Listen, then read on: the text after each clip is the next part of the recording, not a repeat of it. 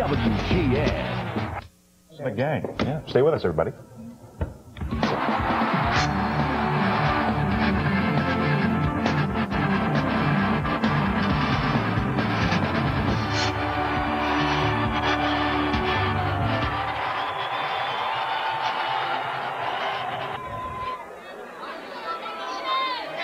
Morning, everyone, and welcome to the 1998 Chicago Bulls Victory Rally.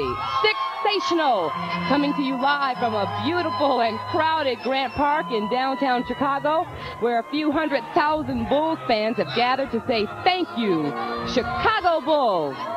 I'm Allison Payne, along with my colleagues Dan Roan and Steve Sanders. Good morning, guys. And good morning to you, Allison. Good morning, everyone. It's an absolutely beautiful morning, and that's quite a contrast from last year. As you recall, there was a steady downpour uh, during this whole thing. We've got the sun uh, peeking through the clouds, and uh, it's going to be a gorgeous morning. As you know, Dan, this thing is uh, always gets underway at 10 a.m., but it never, yeah. it's supposed to it's get always underway at 10 supposed to get underway at 10 o'clock. Never starts on As uh, Rich uh, was telling everybody who was watching the morning news, we'll get back to Rich King at the Berto Center in Deerfield, where the Bulls uh, buses take off and come down here from. Uh, they're just barely trickling in now, and it's been a long bus ride in most years from up there, so I imagine it's going to be a little bit late in starting, but that's okay. Everybody's having a great time, and I'll tell you what, there is a huge crowd out here behind us, behind the seating area, uh, as big as it's been in any of these the five rallies that I've done previously. You know, that's quite a frame of reference coming from you because you guys have done all 6 of these. This is the sixth one. I've only done a few of them, but. Uh... hey, we're lucky to have Dan Roan here this morning. Oh. Trapped in Salt Lake City last night. Trapped is a perfect word to describe it, too. We wound up uh, routing through Las Vegas, which was another maybe not so good idea. wound up flying into Chicago at 6 this morning, but we're all here and ready to rock. It's going to be fun. You got in three hours ago bearing uh, magnificent souvenirs. Well, Dan, you look I great. should say. I thought you were going to save that. Bring no, let's bust it out early. I don't have to tell you where this net is from. How did you get that? You do have to tell us that. Well, you know, they were there, we were there, no one else was there. Nobody was And looking. now it's here. Did, That's bump, pretty much the way it happened. Didn't bump into Rodman out in Vegas, did you? Uh, no, as a matter of fact, I think Dennis is here in Chicago, but uh, may be disembarking before too long on a little trip out west. But uh, yeah, he'll be here today, and uh, he's scheduled to speak. He is. All the other stars of the team are as well, as they do every year. It should be a lot of fun today. Well, we are glad that you made it. Why don't we check in with uh, Rich King, who is out at the Berto Center watching the Bulls on Bulls Lookout. Rich? Allison, quite a scene here. The Bulls players are now trickling in. Behind me now is Ron Harper, who has a trophy uh, in his car, I guess. We're going to try to squeeze in here if we get a chance, if these other crews can get out of the way, and uh, see if we can talk to Ron Harper and get a mic in here. Uh, you got a shot in there? You plan on... We don't have a shot. I'll tell you what, we're going to hang on a second. Jerry Krause is here. We have uh, other players here. Keith Booth arrived with the big uh, three, Scottie Pippen, Michael Jordan, Dennis Rodman, yet to appear. Daryl, I want you to pan over and show the buses uh, while we're waiting here. The buses are ready to go, the Keeshin buses. Uh, get sitting set to go here. The players I mentioned earlier, notoriously late in arriving. Last year was real late, and the, I think the ceremony was delayed somewhat because the players couldn't get here on time. But uh, once they get here, too, they chat and they uh, kid around a lot in the locker room and inside the Berto Center. So uh, it, it, goes on and uh, for quite a while, and it'll take a while for these players to get out of here. But a beautiful morning. Uh, outside, about 200, 250 people waiting for the uh, situation to resolve itself here. Let's see if we can just squeeze right in. Uh, Daryl, get down here and see if we can get Ron Harper. They are been real great to have, and uh, I mean, I I have some real great friends that don't have no championship rings. This is my third, and uh, it ranked very high. Ron, how tough was it holding that uh, trophy in that car? Was it precarious for you? Oh, it's very easy. It's very easy. to You know, it's, I got an airbag front seat, everything for it. You know, I'm, I'm, I made sure it's very safe and and uh, I'm very happy to have it. Is it true you let the trophy drive for a while here today?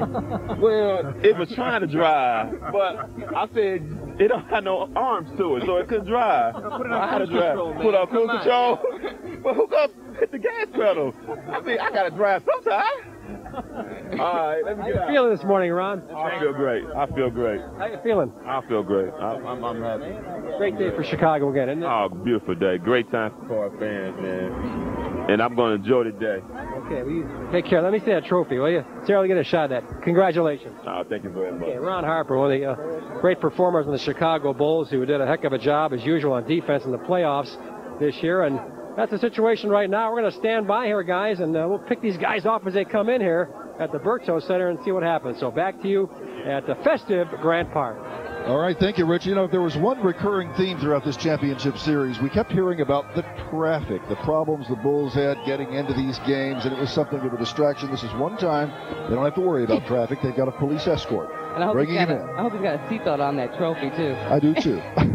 Um, WGN's Bill Weir is also back from Salt Lake, and he joins us here for the rally this morning. Good morning, Bill. Hello, friends. We're set up right below you here in front of the uh, and pretty sedate crowd so far. Pipe classical thing keeping me from starting a mosh pit. But uh, we talked to Luke Longley, Steve Kerr, some of the guys in the locker room after the game, and kind of the recurring theme we learned was that this is the sweetest championship because it was the most hard fought. These guys have played well over 100 games, three years straight, and you could just see the exhaustion mixed in with the exhilaration on their faces. We thought this might be a good time to take a look at uh, the roller coaster ride that was the 97 98 Bull season. It was this time last year when we were given a shred of hope. Michael, reveling in the glow of win number five, held up finger number six, a sign that there would be at least one more trophy dance to come. But how could we be sure the most successful and dysfunctional family in modern sport was again doomed by contractual uncertainty? And while the multi million dollar deals eventually got done, the wounds stayed open. Michael made his, his comments about he had to have Phil back. You know, my initial reaction was, you know, no player is going to tell me who's going to who's going to coach the team. And and and, and uh, you know, for just for a second or a nanosecond, I thought, well, I'll show him. I'll go get another coach. This will be Phil's last year as the coach of the Bulls. It would take wild horses to drag me back this time, I'll tell you. Phil's not going to be here, certainly I'm not going to be here. It was a rough summer for Scottie Pippen as well. He wondered why the team was shopping him on draft day, while everyone else wondered why he waited until October to have major foot surgery. So without Pip and an unsigned Dennis Rodman, the Bulls took a preseason jaunt to Gay Paris. Even without their two stars and top heavy from Bordeaux and Baguettes, the team slashed through their European challengers. But it did little to bolster confidence in their chances at a repeat. All but Scottie were in uniform in time to pick up their thumb jewelry November 1. Still, Chicago finished the first month of the season a mediocre 9 and 7. And to add further bad taste to the turkey, a simmering Pippen boiled over during the team's first long road trip, demanding a trade and promising never to play in a Bulls uniform again. Despite the distraction, the team pulled together without him, winning 10 of the next 12 and giving Phil Jackson his 500th career win two days before Christmas. No coach had ever reached the mark quicker, and strangely enough, Dennis Rodman was one to thank. Whether it was due to an incentive laden contract or the phases of the moon, Wormy was a model of good behavior during the regular season. When Mavs coach Don Nelson sent a tomato can named Bubba Wells to foul Rodman six times in three minutes, Dennis calmly hit nine free throws and pulled down 27 rebounds. It was mid January before Scottie's foot and mood were well enough for him to return, and he helped Michael stave off a scare by Golden State. But just five days later, someone forgot to yell timber when Derrick Coleman fell on Steve Kerr, breaking the guard's clavicle and a little of Phil Jackson's spirit, who began to wonder if the championship karma was fading. February saw Michael play in what he called his last All Star game in his favorite gym, Madison Square Garden. The retiring codger proved he can still get jiggy with it as well as any kid from LA, winning his third MVP award. He even got a bit nostalgic in early March, breaking out his vintage Air Jordans and blistering the Knicks for 42 points. But as always, the late season was not without bumps. They blew a 19 point fourth quarter lead to lose to the lowly Mavericks on March 12.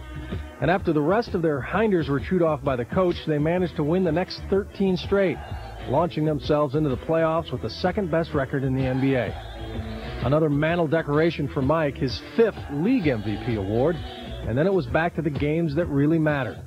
Once there, the Bulls made quick work of New Jersey and Charlotte before one of the more tense and raucous Eastern Finals in recent memory.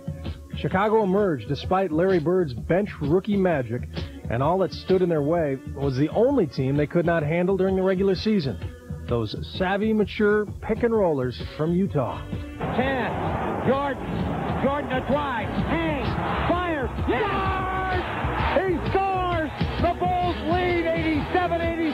Stockton. Stockton, screen and roll. Lifts the shot. It is no good. Rebound back. Captain's over. Bulls win the title. The Bulls are the world champs again. And if this is indeed uh, the last dance for these guys, uh, you're gonna might.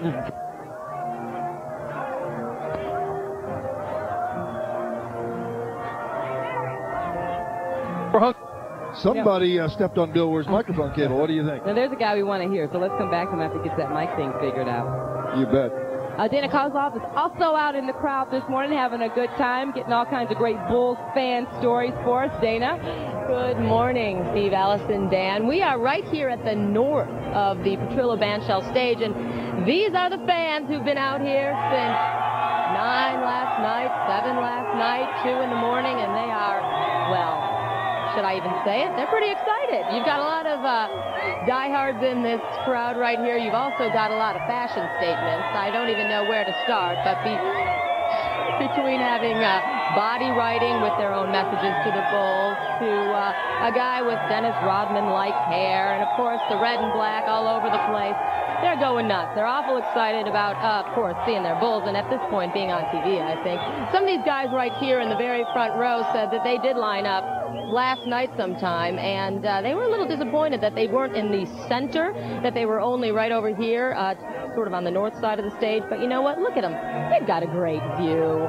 They're right there by the front of the stage. We've been talking to some of them. We can't get down in that sort of pit area, if you will, to talk to them, but there's definitely some fans up here that we'll be talking to throughout the morning and hope to uh, bring you some exciting characters as we continue this morning. I already found one guy who's been to all six and he brought his photo album to prove it. So we'll be talking with him and uh, we'll be grabbing anyone we can this morning. But for now, I'm going to throw it back to you guys, Steve Allison, Dan. Thanks, Dana. You getting any word on crowd size, the official uh, estimate for police? No, you know, I haven't heard that yet, but I did talk to police officers earlier this morning who said that there were 225 police officers at 6 o'clock this morning. By 8 o'clock, that number was going to double to 500 police officers, and I'm sure we'll see a little later on there are some officers on horses, mounted police here, trying to keep everything under control. But I'll check on that crowd size, and I'll get back to you. All right, thanks, Dana. We uh, did get uh, just word from uh, our uh, camera person here, Randy, who was here at 3:30 this morning. He said there was quite a, a, a police incident in which uh, about two to 300 people jumped the barricades. They tried to get into the reserve seating over there. I called in lots of squad cars and herded them right out. Does that surprise you? Well, you know, it speaks to the enthusiasm that this Oh, crowd yeah. has. And, you know, I wondered coming into today just what it would be like. You know, we've done this six times. Is it starting to be old hat now? You know, are people getting tired of the same old thing? There was Look talk the about the possibility of having a parade or something. Uh, but I think what you see out here today uh, lets you know what this city thinks of this basketball team and uh, further how much they want this basketball team to come back next year, which is certainly a matter we'll be speaking of this morning. Uh, Rich King's also been looking into that, and he's out at the Berto Center right now. Let's go back to Rich. Okay, Dan, thanks a lot. Michael Jordan has arrived here. A few other players here. Ron Harper we had on earlier. But you know, Bill Weir was talking about the Bulls of the past this past year, the great memories they gave us. And most of the year, Dan and, and Allison and Steve, as you well know, people have been talking about the future. What's going to happen? Who's going to be back? Will the dynasty be broken up? Well, we looked into that, and here's uh, some of the answers about the future of the Chicago Bulls.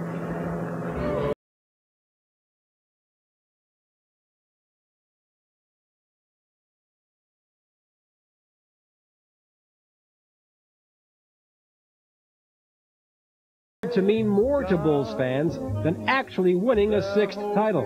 Is this the last dance for the dynasty of the 90s? Before some educated guessing about the answer, a small dose of history is essential. Phil Jackson, so called, for a piece of himself. We go back to last summer when the Bulls re-signed Phil Jackson to a one-year contract, and Jerry Krause shut the door on any extension in a manner that was justifiably perceived as too cold and too harsh. This will be Phil's last year as the coach of the Bulls, uh, and uh, we can now uh, work on this year, uh, defending the championship, uh, getting everything we need to uh, do to uh, win another championship, and then uh, at the conclusion of the year, uh, we'll look towards the future. In Krause's defense, it was a mutual decision. Phil wanted out also, a fact overlooked by some cheap shot artists in the media who took aim at Krause and Jerry Reinsdorf. Krause left the perception that the Bulls management was forcing Jackson out, even though Phil never said that, and even though Jerry Reinsdorf told me as early as last summer that he would never close the door on Phil Jackson. You never say never, yeah, but uh, except that Phil has consistently said this is his last year. So I have to take him at his word. But he might change his mind. If he changes his mind, then we'll think about it. And now, a full year later, the Bulls still seem flexible on Phil, but Jackson himself may pull the plug on his possible return. Insiders on the team say that Jackson is unlikely to return next season. And yesterday, his assistant coach, Tex Winter, said he doubts Jackson will be back. Tex saying perhaps Phil will take a year off from coaching. And after the clincher on Sunday, Phil admitted he had cleaned out his office at the United Center. Well, something absolutely, uh, you know, unusual comes out of the left field. I don't expect to see us back here again, and what a great run it's been. But Jackson's departure would not necessarily mean the end of the Bulls dynasty. Scottie Pippen and Michael Jordan could both be back. Despite calling Jerry Krause a liar at one point and telling Jerry Reinsdorf to go to hell, Pippen still has left the door open for his return. Right now, I just want to enjoy this moment and you know get myself feeling good again physically. Uh, I have to just sit back and enjoy this moment, and you know I'll just see what's what's going to happen. You know, it's, anything is possible. Pippen also said Michael Jordan has five good years left. So if Michael and Scottie are both back, it's possible the Bulls could accommodate them financially and hire a coach that both players could accept, perhaps one of the present Bulls assistant coaches. In any event, it appears it'll be a while, maybe most of the summer before we know about whether all, some, or any of the key figures in the Bulls' six-year dynasty will be back. It's, it's, it's a lot of sympathetic feelings about you know this team and where you know where we want it to go. But as time you know takes it, gets involved, I mean some of the some of the feelings may change. You never know. But I think that's the purpose of waiting time, waiting to the end of the summer or maybe in the summer and making final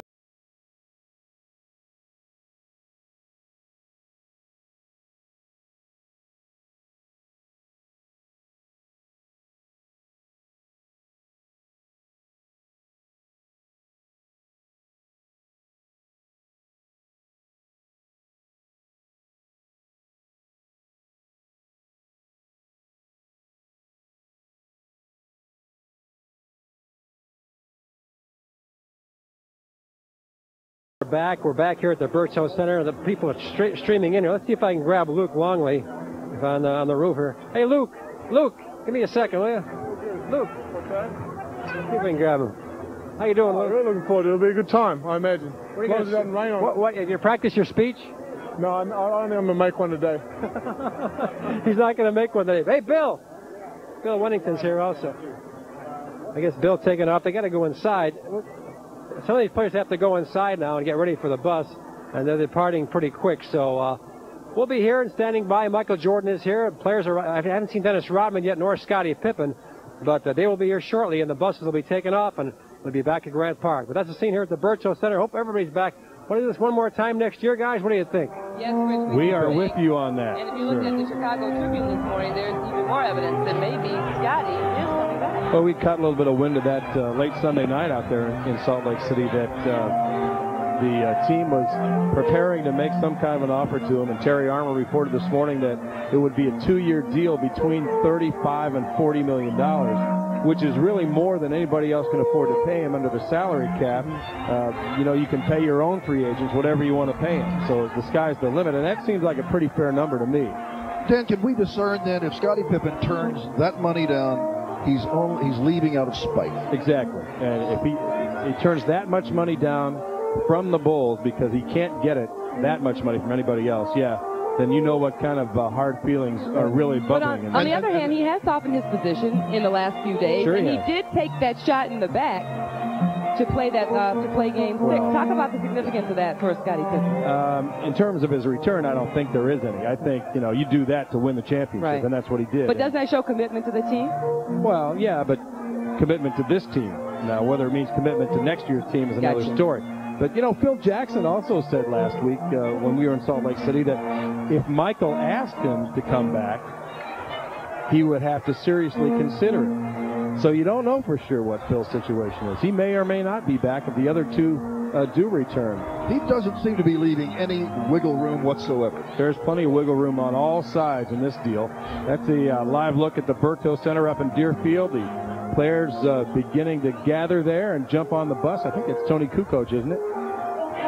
That looks like Jeff Buechler, too. Or is it Bill Wennington with the beard? I think it's Bill, isn't it? With the kid, that's with, Jud. with their children, Bill Wennington and, and Steve Kerr. Yeah, nice. That'll be fun for everybody today. And you know, is this not just like previous years? They're, they're getting a late start. There's no way this will get underway at 10 a.m. I'll tell you what, they're on the buses in pretty good shape compared yeah, to other 20 years. After 9, 20 after right. 9. They might be here by Well, close to 10 o'clock. I hope I'm wrong.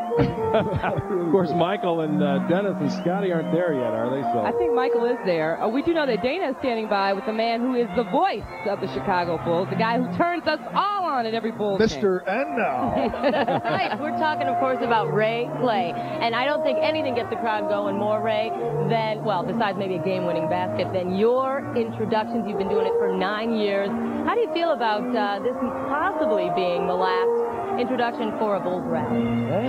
kind of strange to think that it could be the end. Uh, but again, all good things have to come to an end. But boy, you keep your fingers crossed that it isn't. You must uh, get so excited yourself when you're getting ready to introduce this team and you hear the crowd just go absolutely crazy. Do you feed off their energy? Oh, I definitely do. You know, you still feel the tingle after all these years. It just, it's just gets you in the back of the neck, and you go, you know, I have to do my best job for these guys because they want to cheer the team. And I, I usually figure I'm the guy who starts the crowd up and gets them going for that opening tip for the beginning of the game. As you'll be doing today. You know, you were said that you put the energy. You were the one who put the energy in the introductions. It was there before you. But why? You know, why did you decide to to go ahead with that energetic sort of call as opposed to being a little more low key? You kind of started the trend. Well, I think Chicago loves their team. You know, Chicago was in need of a winner. They needed something to get behind, and I'm a fairly loud guy to begin with, and I like to have fun. And I said, you know, this is a great spot to come in and get everybody revved up. Okay, well, really quickly, we got to wrap it up here, but uh, come on, you got to warm your vocal cords up for us real quick. Ready? From North Carolina, at guard, 6'6", the MVP, Michael Jordan. All right, woo! Thank you very much, Ray. We appreciate it. Thank you so much. Everyone's saying thank you. You guys that all, hurt my voice that just makes, listening. That to it. makes my vocal cords want to snap when Oh, I hear him oh do that. my It Best part. All right, ladies and gentlemen, you're watching Sixational, the 1998 Bulls Championship celebration. Stay with us. There's a lot more to come. We're back after the break.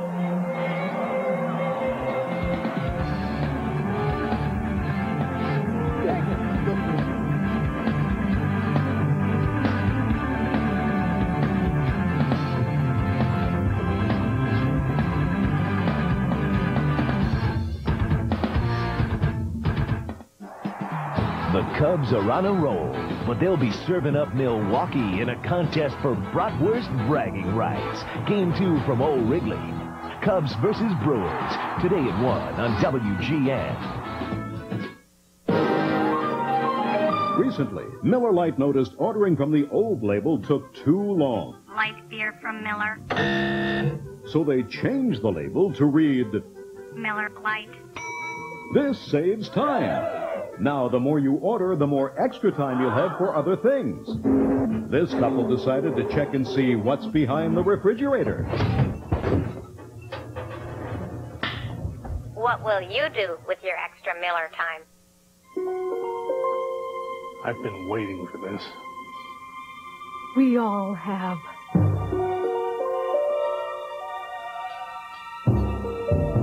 Here it comes. Southwest Airlines introduces another way to New England with new service to Manchester, New Hampshire for just $90. We'd like to remind you, Southwest never serves airline food. You are now free to move about the country. Here we are in this simple, majestic setting. None of the usual interruptions. Nobody around to distract us from introducing AT&T One Rate Plus. Now, the key point, the thing to remember is that every call you make from home with One Rate Plus, every call, day and night, 10 cents a minute. You say 10 cents a minute, dude? How do they find me? AT&T One Rate Plus. 10 cents a minute anytime. Call 1-800-41-RATE to enroll. East meets Central in a battle of the American League footwear. The good guys play host to Boston under the sun at Comiskey. The Red Sox meet the White Sox Wednesday at 1 on WGN. Okay, welcome back to the Berto Center here. The Bulls bus is uh, just about to pull off. Many of the players are inside. There's Karen Stack in the front office. We're going to go down, take a walk down here, and Ron Harper still has this uh, trophy in his car. There's also some other activity in this area. I mentioned Michael Jordan is here at the time, at the present time, and he is uh, getting set to go. Here's again Ron with the uh, with the uh, trophy in there. Oh, it's okay. We're gonna go. Yeah, we're gonna go on uh, with other people, so we're gonna uh, have to wait and see what goes on there. But here's a shot of the trophy. Let's see who's back here. We walk back here, Daryl, and I'll tell you, this is always an exciting scene here. Everybody, and I guess Jordan is over here. Come on, Daryl, we can get over here and see if we can get Michael Jordan. We can see this melee of people. How emotional you million dollars? Right over the top. tribute. You think that's enough? He should stay. He was offered that much? Well, supposedly he's going to be offered 35 to 40 million dollars to stay. Pretty good. Whatever he chooses, whatever he uh, envisions for himself. I If think he- that's, if- that's his decision. That's not Michael Jordan. if he asked, if he asked you, if he asked, if he asked you about it, what kind of advice would you give him on that? Thank you. Thank you. Yeah, you never play for money, but whatever makes you happy, whatever you think is a fair offer for yourself, and uh, as long as he can still enjoy the game, that's the first and foremost. I mean, money's not going to determine if you enjoy the game or not. Oh, you're going to play the game any harder. It's just a certain value that you feel that you have for the game, or that you've brought to the game. And I'd like to see Scottie get that, you know. And no one knows what that is really, and the number's not really going to be enough, you know. Michael, how Would his decision this? affect yours? Uh, somewhat, yes. Your Without golf clubs are in the back seat. Are you going to be golfing after this? As soon as it's over. I got a tee time. And Michael, how and what, and, what, how and, is and what's your handicap these the days? I don't know. It's, it's, my handicap is I didn't play enough golf for the last eight months. I'm not sure you find a whole lot of people agreeing with you there. Excuse me, I got a phone call. Uh, okay. Yeah, sure. Bye, good night. Watch your hand. Okay, thanks very Thank much, you. Michael. Appreciate that. Okay, well, we did the best we could on that one. Michael Jordan. Michael Jordan, I guess the chopper has us uh, from on top, but uh, what a mob scene here around Michael Jordan's car as the everybody is uh, waiting here. You can see from the top what a, what a view this is. You have the buses in front, and then you've got uh, Ron Harper's car, another car, then Michael Jordan's car. And now we're waiting for the buses to take off, and it'll be quite a while. I've yet to see Dennis Dennis Rodman of all uh, of all guys. I guess you'd expect that. Maybe Dennis going to go right to the uh, Grant Park Rally. I don't know. But Michael is here, and he's gracious enough to open his window, which was kind of nice, and give us a few comments. And I heard nothing of what he said because I was trying to get the microphone in there way in the back. But it's uh, quite a scene here, a mob scene right now as people scattering by, the kids that are coming by, as you can see, trying to get some autographs. But we'll be standing by here in case Scottie Pippen or uh, Dennis Rodman shows up here at the Berto Center. Back to you guys in Grant Park. Okay. All right, Rich. Thank you very much. You know, I guess 300,000 people wait while Michael answers the telephone. Yeah, I wonder who President Clinton. Who was it on the phone? Could be anybody. Could have been Scottie saying, man, I'll take the money. I'll see you next year. Could have been one of the guys in his foursome this afternoon, trying to figure out what time they're going to play and where. You know, you get about 300,000 Bulls fans, or whatever the number is. That many Bulls fans out here, you're going to see a lot of terrific artwork. I know as we look out on the crowd, we're seeing a lot of it. Really? Bill Weir is standing by with uh, one uh, very special uh, looking piece of Bulls related art. Hey, Bill. That's right, Steve. I know uh, you're a big, uh, big fan of knitting, also decoupage. Uh, so uh, we found a, a, a couple ladies here who came all the way from Kansas. Come on in. Come on in. This is Cindy and Lisa who put together a lovely quilt made up uh, entirely of what? Lisa's t-shirt. A t-shirt. That's very nice. Now, uh, I guess you don't need to keep warm here this morning. This is more of a show of uh, solidarity for your team, right? Right, exactly. How long were you in the car? Well, we left at 10 o'clock yesterday morning. We got here about 9 last night, and we were out on the street until they let us in here this morning. You had your quilt. You were on a mission. yes. Yeah, very good. So have you been to one of these before, or is this your first? This is our first. You figure this may be the last chance, right? Well, we hope not. Yeah. All right. But it might be the last time we come.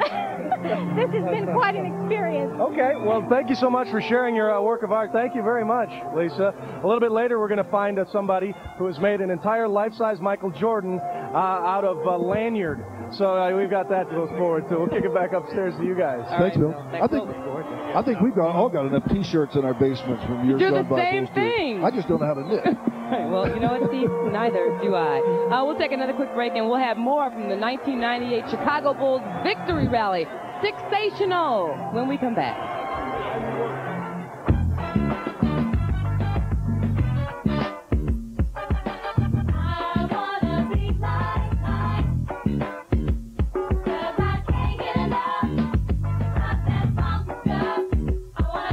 I wanna be like Mike, it's the word.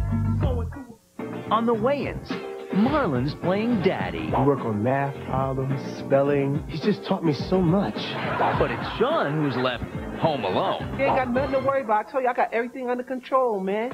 The Wayans. Then on Steve Harvey, Cedric's been poisoned. Somebody get help fast. Steve, give him mouth to mouth.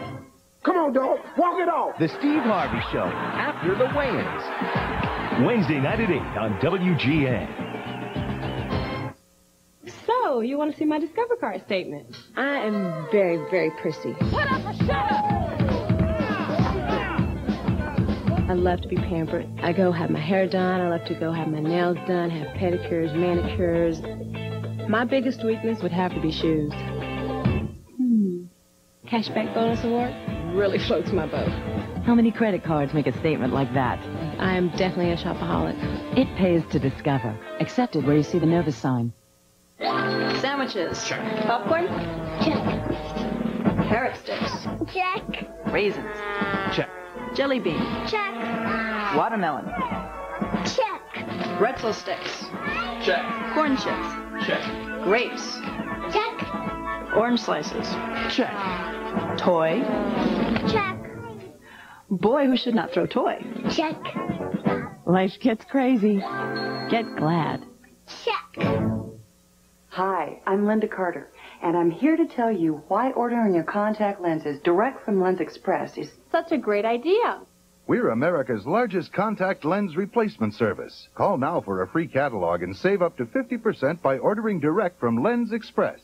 and I get the exact lenses my doctor prescribed or my money back. Now that's What I call service. I couldn't do without. Lens Express. Call this number now for a free Lens Express catalog. Welcome back, Chicago. We're covering the 1998 Chicago Bulls rally. We're live over the Berto Center, and you know what? We got a shot of Michael Jordan's spanking new Chevy Vette here, cruising south on Waukegan Road. He's leading the charge here. They got a police escort. Let's widen out and show you the buses. And uh, that's Ron Harper's car in the white, someone else in another car, and then two buses loaded with the whole Bulls team making their way southbound on Waukegan. They just took off from the Berto Center. The Edens is completely clear in case they're interested or listening to me, and the Kennedy looks pretty good too. But you know what? They've got a police escort. I'm saying they should be there in about 35 minutes. It could get a little tight as they head closer to downtown, but they're just taking off uh, southbound on Waukegan Road, loaded up and ready to go. We'll keep you updated up here from Skycam 9. We'll throw it back to Rich King, who's on the ground at the Berto. Center. Rich? Are you there, We're Rich? Back here at the Berto Center, I tell you, the sun has come out, the clouds have disappeared, the Bulls are gone. They've taken off about, uh, as Robin said about two minutes ago. Um, I didn't see Dennis Rodman nor Scottie Pippen, but Michael was here. You heard him on live here on WGN. Of course, the many fans, as we uh, see, the fans are still moving around here, uh, looking for the, uh, I guess, some media autographs of all things. I don't know who want a media autograph, but they're still here. And now the police officers, as you see, trying to get them out of the area. But the Bulls will be back here. The bus comes back here after the uh, rally in a couple of hours. So uh, things are right now going to cool off down here after a very hectic morning. People began arriving at 6 a.m. and now it's uh, over for a while. But one more shot here at the Berto Center. When the Bulls come back, there'll be more fans on hand. Back to the uh, Grant Park area now, and in the crowd with Bill Weir. Thanks very much, Rich. You know, the great thing about doing this year after year is you really make some good friends. Hey, you remember Ed from Detroit from last year? This time last year? Good to see you again. We're back again. How do you manage to get in the same section every year? Well, I kind of use an old technique of uh, getting to know the people that are around here in the area, and we just come back and back and back, and it works every time. It's like a club, and your and your guys with you again are? Uh, this is Spencer, my, my son Spencer, and this is my son Edward. Hi, guys. Favorite player? Favorite Bulls player? Dennis Rodman. Michael Jordan. No coaching allowed, Dad. Hey, Allison, Ron uh, Harper. they're from Detroit, your country, all over the place Hey, to come in on the Super You know that means they're good people. They're good people. Be nice to that man. You got it. If he's from Detroit, he's tough. Listen, that's pretty amazing given the rivalry of the, the past years. Well, in that Time magazine article with Jordan on the cover, that's one of the things they talk about. A lot of Bulls fans in Detroit now. And when I first moved to Chicago, who would have thought? Oh, there were no Bulls fans in Detroit. Uh, we'll see a little bit of a snippet of tape a little later on about uh, how this championship run all began. And of course, that's where it started when they swept out the Pistons in the Eastern Conference Finals back in 91. And boy, what a rivalry it was back then. Well, I think having Dennis Rodman and John Salley, who else from the Pistons came to play for us for a little while? I think James Edwards There you go. for a Put a while. few former Pistons on the team and it helped. Can't beat them, join them. Everybody but Bill Laimbeer, right, Dan? You do not need that Don't guy go right there. Not my guy. Oh, we All talked right. about this This, by the way, get how, folks uh, from Florida coming up uh, see. Go ahead, Allison. We talked about how this rally really has grown, and, and Dan said earlier he thinks that this year might be the uh, the best attendance that we've seen so far. But it has changed. But I can tell you one thing: that people come out, doesn't matter what the weather is, they come out to root on their Bulls. Jackie Bange has a look back at the history of the Bulls rally. Not start at the beginning, June 14, 1991? It was a work day, school was still in session, but an estimated 1 million fans were there.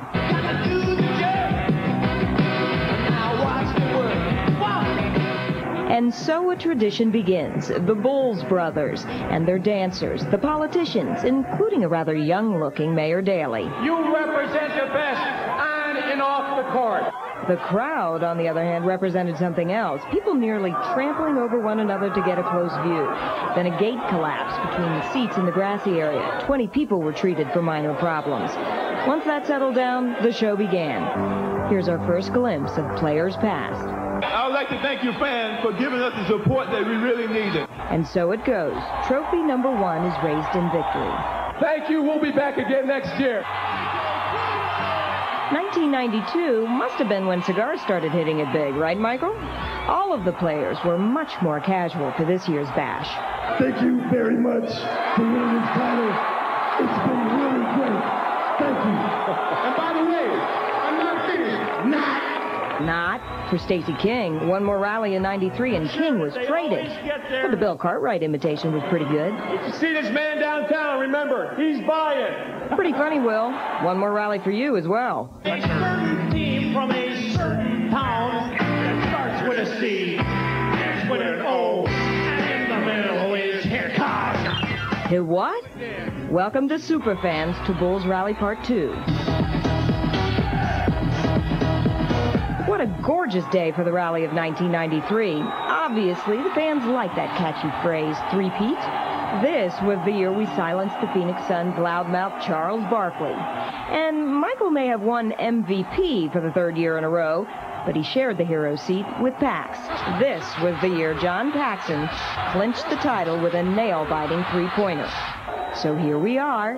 It's getting a little crowded in the trophy room. We've been successful every season we've been there. Let's go for four in a row. Hmm. Sorry, Scottie. This was not to be. We skipped 94 and 95. We're back. It's June 18, 1996. Victory number four. This time over Seattle. To say the addition of Dennis Rodman had an impact on this rally would be an understatement. Remember the dancing Rodmans on the Jay Leno show? Well, here they are in Grant Park. Even the fans got into the act. But this was the year the jokes weren't as plentiful from the players. This was the start of the contract controversy. I hope Phil is going to get an opportunity to coach again. I hope Dennis gets the opportunity to act crazy again.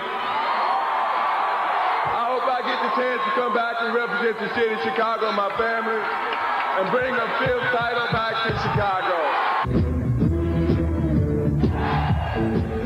They did. June 16, 1997. How about one word to describe rally number five? Soggy.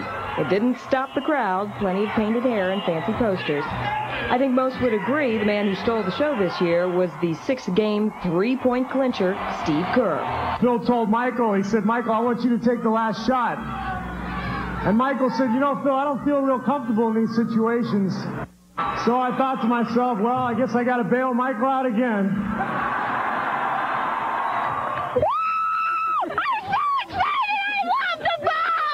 It's nice to know fans can still keep up the enthusiasm after five national titles. Jackie Bange, WGN News. Who could forget him? Steve Kerr still has delivered the best line of anybody in any of these I rallies. We'll see if somebody can top him That's today. my story, and I'm sticking to it. Remember? That's great stuff. It was. Repeat, three-peat. I'm trying to remember them all. Drive for five, and, and this one. Uh, Dana Kozlov is standing by with probably the most time-honored voice of the Chicago Bulls, That's right. Johnny Red Kerr. That's right, and I'm so pleased to actually have a chance to meet and talk with him. Thanks so much for coming out here, Johnny Red Kerr. This is great. I wouldn't miss this for anything. You know, a lot of people thought with the Bulls uh, going back to Utah for those two games that we may not celebrate again here in Grant Park, but here we are. What do you think uh, is going to happen next year? Do you think you might be back here again, or is it too soon to start talking about that? Boy, I'd say uh, I think it all depends on the NBA lockout this season. If the Bulls get locked out or, or the players in the NBA get locked out, it's going to be very difficult for anybody to to have a great season. But uh, if the Bulls come back and are intact, uh, yeah, I would think that you could come back for seven. You know, I- I'll tell you, being a Bulls fan myself, it has been a fun, really, 10 years as I started to get, you know, better and better and actually become uh, competitors. And then, of course, the, the six title run. I mean, what's it been like for you being a part of it and really being a part of it? Well, I, I've, I've seen uh, every basket that Michael Jordan has made, uh, whether I've watched it on TV or been there personally. And uh, Wayne Larrivee and I have had the privilege uh, in the last several years to bring the games uh, to the people on WGN and many of them nationwide games. And uh, we get letters all over. Uh, and, and I'm thrilled to get the people that have we brought so much fun to a lot of shut-ins, a lot of people that are retired in Florida and California, and uh, it, to me it's just, it's just tr- tremendous. I still get excited. I don't know when my blood pressure will really be coming down again. So you didn't come here with the team, huh? No, I came uh, from home. I had to be here a little bit earlier. They're coming from uh, the Berto Center in Deerfield, and matter of fact, we expect them pretty soon. Yeah, I know Rich King's out there, and he's been keeping uh, close tabs on them for us. Now, I know you're wearing one of the championship rings. I don't know if we Yeah. can try to show this, but which one is this? This is the fourth championship ring. This is the team that they said was the greatest team ever. They won 72 games. There's 72 diamonds around the front, and those are four championship trophies. And I don't know what uh, this new one will look like, but uh, I'm waiting to see it. All right, of the six runs, the six titles, what was your favorite year? Oh, I don't know. Maybe this, uh, maybe this team that uh, that won the 72 games. That whole season was a great upbeat season. But uh, you can't beat this one because the odds were against this team. Scottie being hurt, Luke Longley's knees out. Michael was just magnificent the whole year long. Great. Uh, you know, there's some talk today that Scottie Pipp, they've extended sort of an offer to Scottie Pippen. Have you heard anything about that at all? Have you heard any talk about uh, planning ahead? No, I haven't heard anything, but I, I sure hope so. Uh, if you're looking for some of the brightest free agents out there, you have to be looking at number 33. Uh, I think he's one of the best. And would you like to see us go, or the Bulls go one more time? Oh, absolutely, absolutely. I, have got enough. faith. Let's see. It would be uh, it would be this many, right? Seven. That's right, exactly. Okay, that'd be good. I don't need anything for the thumbs. I can take care of the rest of the fingers. Some fans want them to go until they run out of fingers. I don't know about that. Well, that would be great. Wouldn't that be wonderful if they if they just went in uh, to the year 2000? That'd be crazy. All right, Johnny Red Kerr's, thank you so much for coming out here. I know you've got a busy morning ahead too. It's been certainly great talking with you, and uh, I'll send it back to Stephen Allison, I guess. All right, thanks, Big Red. Good to see you. He looks fabulous. Johnny Red uh, will be the MC again today, as he always is, doing a great job pumping up the crowd like they really need it out here today. Well, the Bulls uh, motorcade is motoring on down toward the city here. Let's get an update on where exactly they are from Robin Baumgarten. Robin? You know, it's so exciting, Dan, to actually be following someone that we know on the roads for once. Here is the motorcade southbound on the Edens, just passing Willow Road. I'd say they're about a half hour out, depending on how much traffic they hit once they hit the city. There's the two buses. Tilt up here a little bit, uh, Vic, and you know what? Michael Jordan's leading the pack. They have a police escort here, but you know, see that Range Rover there? We had uh, unreported, unconfirmed reports. It might have been Dennis Rodman in there, but we zoomed in in the sunroof. We saw no tattoos on the arms, so I don't think that's him. We're going to widen back here and show you, you know what, because of the police escort, we have a whole bunch of people actually following the motorcade, whether they want to or not. I don't know if they have a choice because there's police about three across. But inbound Edens just south the tower. I think they're about half an hour away. We'll throw it to Bill, who is standing by in Grant Park. Bill?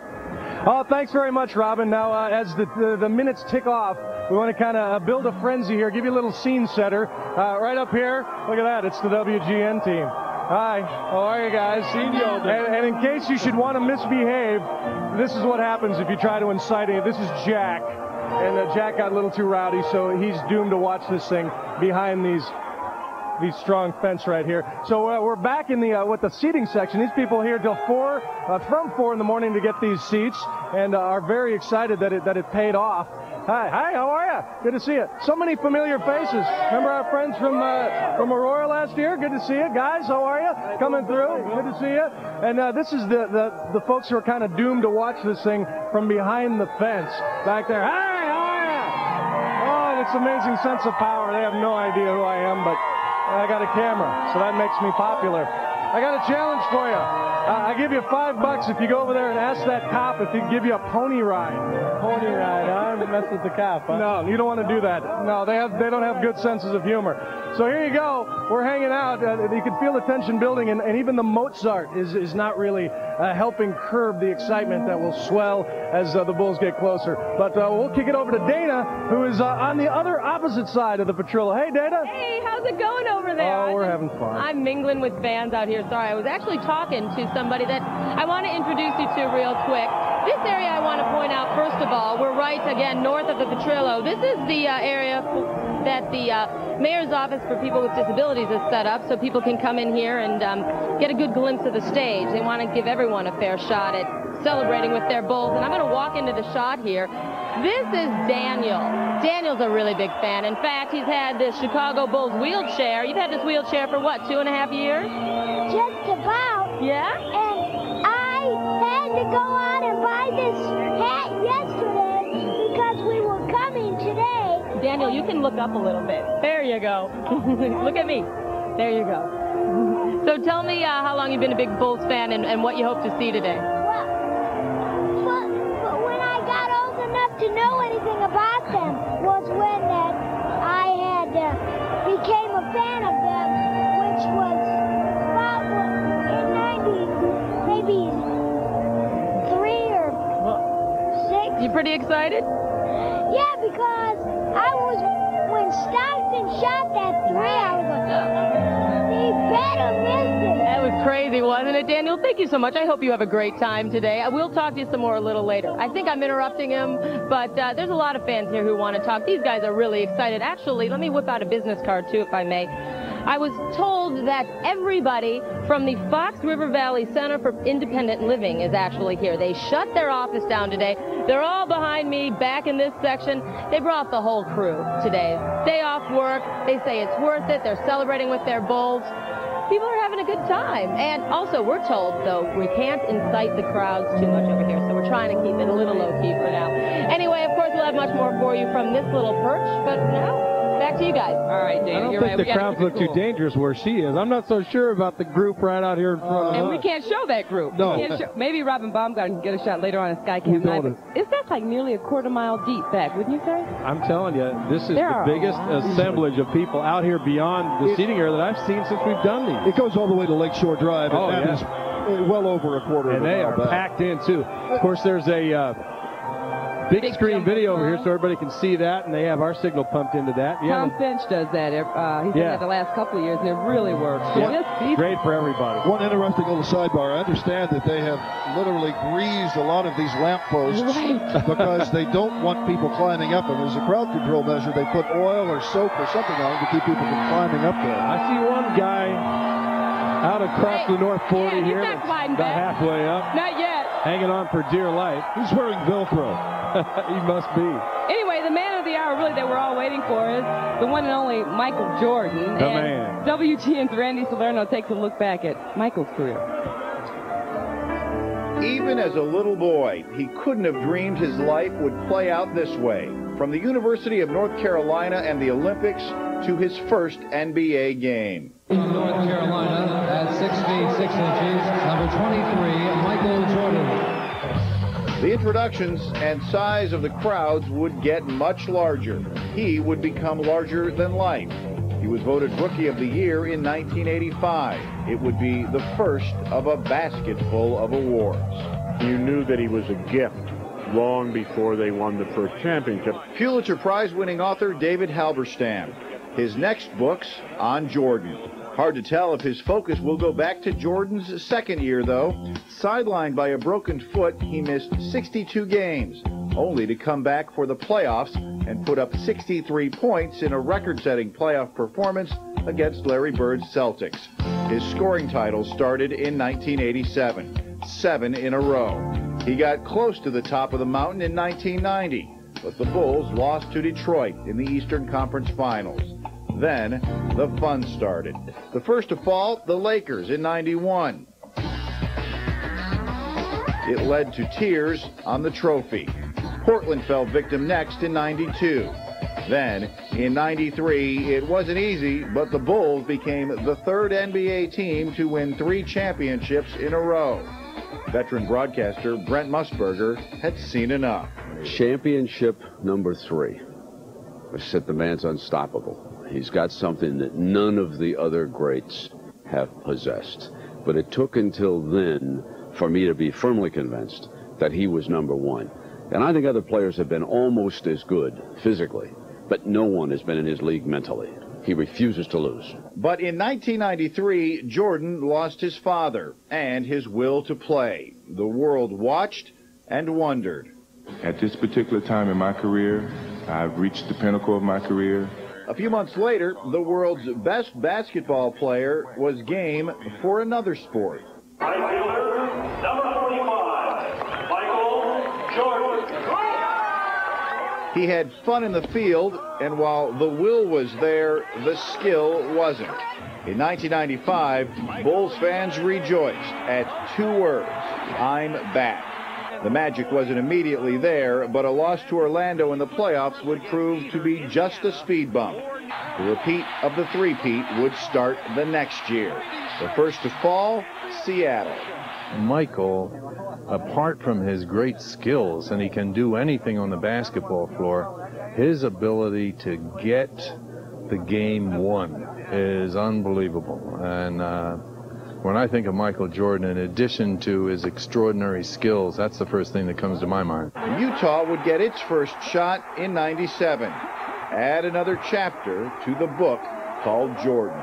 One of the things that goes in every profession is not so much the legs, it's the love of it. And he still feeds on the excitement of being Michael Jordan and doing it. I think the little boy in him still lives, and that's why he's so good this deep in his career. The Jazz just couldn't hit the right notes this time around either. The first to fall twice. Amazingly, few picked Michael and the Bulls to win the sixth title. I just remember as well. Um, a lot of people, uh, before these finals started, were picking Utah. And I think on paper, if you looked at it, you probably would pick Utah. But whenever I was asked, I said I would never bet against Michael Jordan. And, and that's what I'm going to remember him for. Six titles in eight years. His tank may indeed be running out of gas, but few think it's actually on E. In fact, his opponents may be the only ones who really want him to park it. He has been so good the last couple of seasons, he should not retire. He should play again, regardless of what happens. Well, you know, talking to some of the Utah players after the game on Sunday, John Stockton in particular said, hey, he's coming back.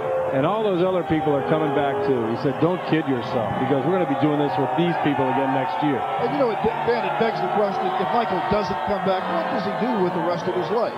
That's a very good question. Uh, obviously, as we've seen this morning and seen uh, many, many times, he loves to play golf, and that's one thing that he'd do. But, you know, Larry Bird was in a similar situation, couldn't spend all the money he had, had nothing but free time, moved to Florida, played golf for a while and just got sick of it and had to get back into the game because he needed that kind of competition. Now, Michael's never going to be a coach. He never wants to do that. Why do you say that? He said that? He's already said he has no intention of becoming a, a coach anywhere. Because Danny almost acts like a coach in recent years. Well, yeah, I mean, you could argue that point that he's the coach already on the floor, and, and you'd be absolutely right Yeah. about that. Do you But, think there's any chance that they might offer him a part of the team? I mean, there are all kinds of possibilities out there to get him to come back. No. Everything from firing Krause to having Phil Jackson come you in can't. GM. I mean, it's against the NBA rules to own own part of the team. A that player play owner, uh, I'll tell you what. Right right? now, after Sunday night, he owns the whole league, and will for a while too if he keeps on playing. In a minute, we're going to go to Robin Baumgarten, who's uh, tracking the progress of this team and route here. But I want to ask, uh, I was going to mention one more thing. You may be aware of a report in a Vancouver newspaper that Michael has put down a deposit on a uh, luxury home on the Pacific coast out there uh, to. Uh, So he can hang out and think about it. Whatever decision he makes, perhaps he'll make it there. Well, it'll come deep into the summer, Michael's decision. Uh, some of the other things might happen a little bit sooner, although, as Johnny Red Kerr pointed out, uh, the lockout, the potential lockout uh, by the NBA ownership against the players uh, may uh, play a very large part in how this all plays out before the summer's over. I'll with. tell you what, you guys, I heard from a really good friend of his, Peter Bino, said just a couple of weeks ago that Michael is tired, that the game has really become a great deal of work for him and a lot of pressure. So, Emotional as well as physical, exactly. I'm sure. So, again, like you said, we'll just have to wait till the end of the summer and see how it plays out. Yeah. Well, he said, you know, after Sunday night's game, he said, I'm ready to come back. And he couldn't have been more tired than he was at that point. So, you know, you take the summer off, play some golf, recharge the batteries, and get back out there again in September and October. And I think he'll be ready to go. Okay. Where are the Chicago Bulls? Last we checked, they were somewhere on the Edens Expressway. Well, I believe they're just past the junction of the Kennedy. Let's Wow. check in with Robin Baumgarten up in the Skycam 9. Hey, Robin. Steve, I better watch it or you're going to be taking my job. Every day I show the Kennedy Junction, and it's not often that I'm following the Bulls as they make their way inbound on the Kennedy. You know, without traffic, it should take only 10 minutes from the junction to get downtown, but you know what? It looks like they're going a little slower than usual here in the motorcade. What I can say, folks, is that people have literally been pulling off on the shoulder. They've been watching television and joining back in and pulling up to Michael Jordan's car here in the center of your screen and sticking their hand out the window and waving to him because they know where he's going to be. Right now, he's on the inbound Edens around, or, or on the inbound Kennedy, I should say, around Irving Park. Should take only 10 minutes into downtown, but I'm thinking they're about 20, 25 minutes away. So we'll keep you updated. No traffic, but there's a van that just pulled up to him, and everyone's stopping to take a look. Now we'll throw it to Dana, who is on the ground at Grant Park. Dana? Hey, Robin, thanks a lot. You know what? The fans are ready for this team to get here. Let me tell you, they just started chatting, we want Bulls, we want Bulls. They've had enough of the classical music that they've been piping in here all morning to try to keep everyone really calm. But arguably, no other fan is more excited about the team's arrival than Charles Horn here. Charles, this is your sixth rally, and you have got a photo album to prove it, and you are one heck of a fan, aren't you? Well, I just like to say this much. God has been good. He has allowed me to attend each of the last six five championship and now I'm here for the sixth one. It's just been awesome. And I just like to say this is my documentation here. The mailman did not deliver on the Sunday. Hey, you got to help me turn the pages here because right. I'm having a rough time. Why don't you go ahead and do that for me? So, um, these are the photos you have from the past rallies. 1993. This is you with, of course, uh oh. Crowd's going to get riled up now. And of course, here you are with uh, Bob Jordan as well. So, Charles, I hope you have a great time today. Thank you very much. We're going to actually have to ask you to step aside because joining me right now is Police Superintendent Terry Hillard, who, thank you very much for coming out here. You have to be out here probably, don't you? Tell me how things are going so far this morning. Give me an idea of how many police officers are here and maybe the number of people in Grant Park. Things are going very well. I think we have the number of resources that we need to make sure that everybody enjoy this happy occasion. And uh, the people are very, very lively. And I think it's going to be a safe occasion, you know, and uh, just waiting for the Bulls to come in. Now, how many police officers are here? I was told about 500. Well, we probably got somewhere near that number. As you know, I never give out numbers, the number of police officers I got. I never give out a strategy. But uh, we have enough police officers out here to uh, to handle the crowd and make sure everybody enjoy themselves. Speaking of crowd, any guesstimate as to how many people are here right now? I just asked First Deputy Townsend, and, and he said he figured somewhere probably about 300,000 or more, you know. We won't know until afterwards. You can, as you can hear.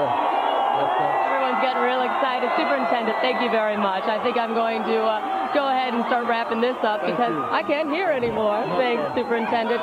Stephen Allison, getting rowdy down here. Oh, that's right. I'm throwing to Bill. I'm sorry. Bill, is it getting rowdy up there like it is down here? It sounds a little louder uh, up by where you are. Uh, back here, people are just craning their necks after the uh, short announcement just now for everybody to calm down uh, that the Bulls are on our way. We're just mingling, hanging out. I'd like you to meet Yellow Brown. uh, who joins us, a musician from Chicago. And obviously, you're either a great uh, big Rodman fan or uh, someone was having fun with you while you slept. Rodzilla. Rodzilla. I read the book. I'm a real fan.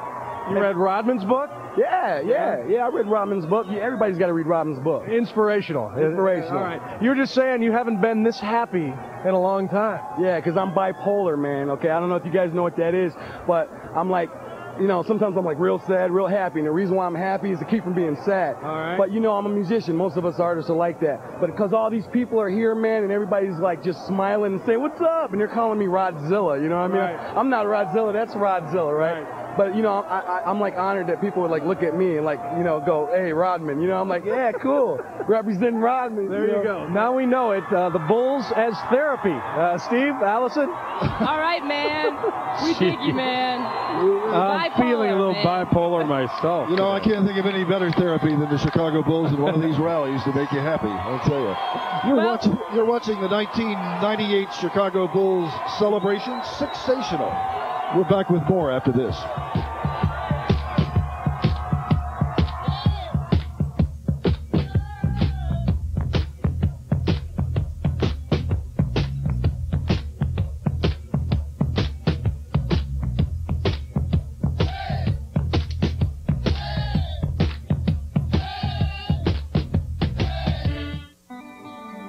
They're some of our favorite people. The millions of AutoZone customers who change their own oil. They're the kind of folks who believe that taking care of their car and saving money go hand in hand. And while we admire their willingness to tackle a dirty job, most of all, we thank them for bringing their used oil back to us. After all, used motor oil should be recycled, and that's one job we simply can't do alone. It is here, high up in the Luganda tree branches, that the pyramantry reproduces. When the mating season is over, the female devours the male, Now, when you win Lotto from the Illinois Lottery, you don't have to wait 20 years for your jackpot. So, that's where you demonstrates once again You get it in one lump sum. All the money, all at once.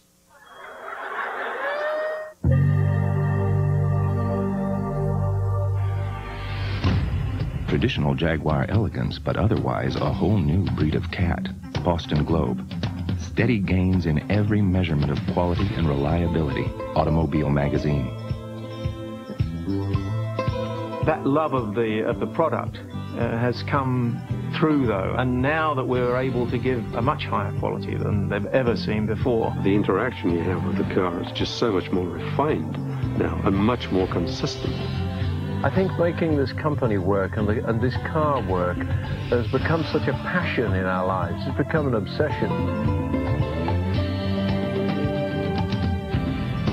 For your complimentary video detailing the improvements that have placed Jaguar's quality among the best in the industry, call 1-800-838-6053. See how the automobile that defines elegance has redefined excellence.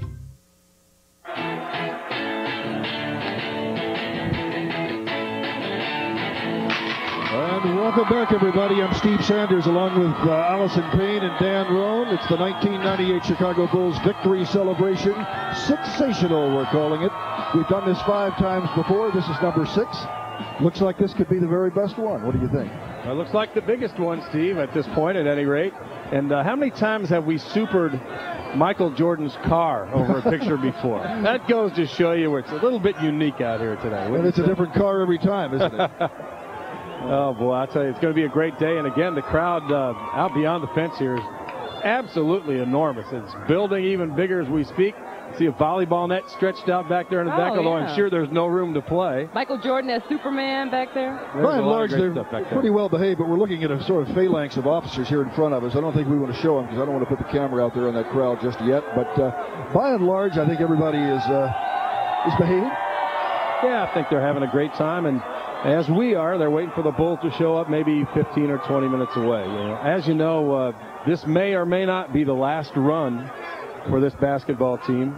And uh, if it is the final one, and if we don't see this team come out and play next year, Scottie and Michael and Phil and Dennis and everybody else, Uh, you look back through the 90s at, at a basketball team that has carried itself uh, with almost a regal bearing. And with that in mind, I want you to take a look at some of the highlights of this championship run of the Chicago Bulls.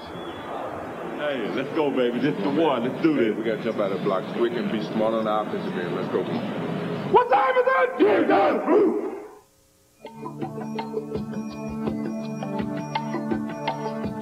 In every heart, there is a drum that beats steady and strong.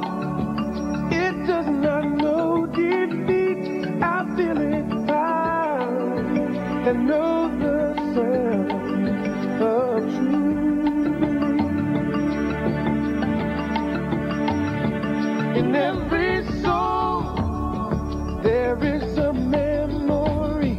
of standing tall, the proudest we could be.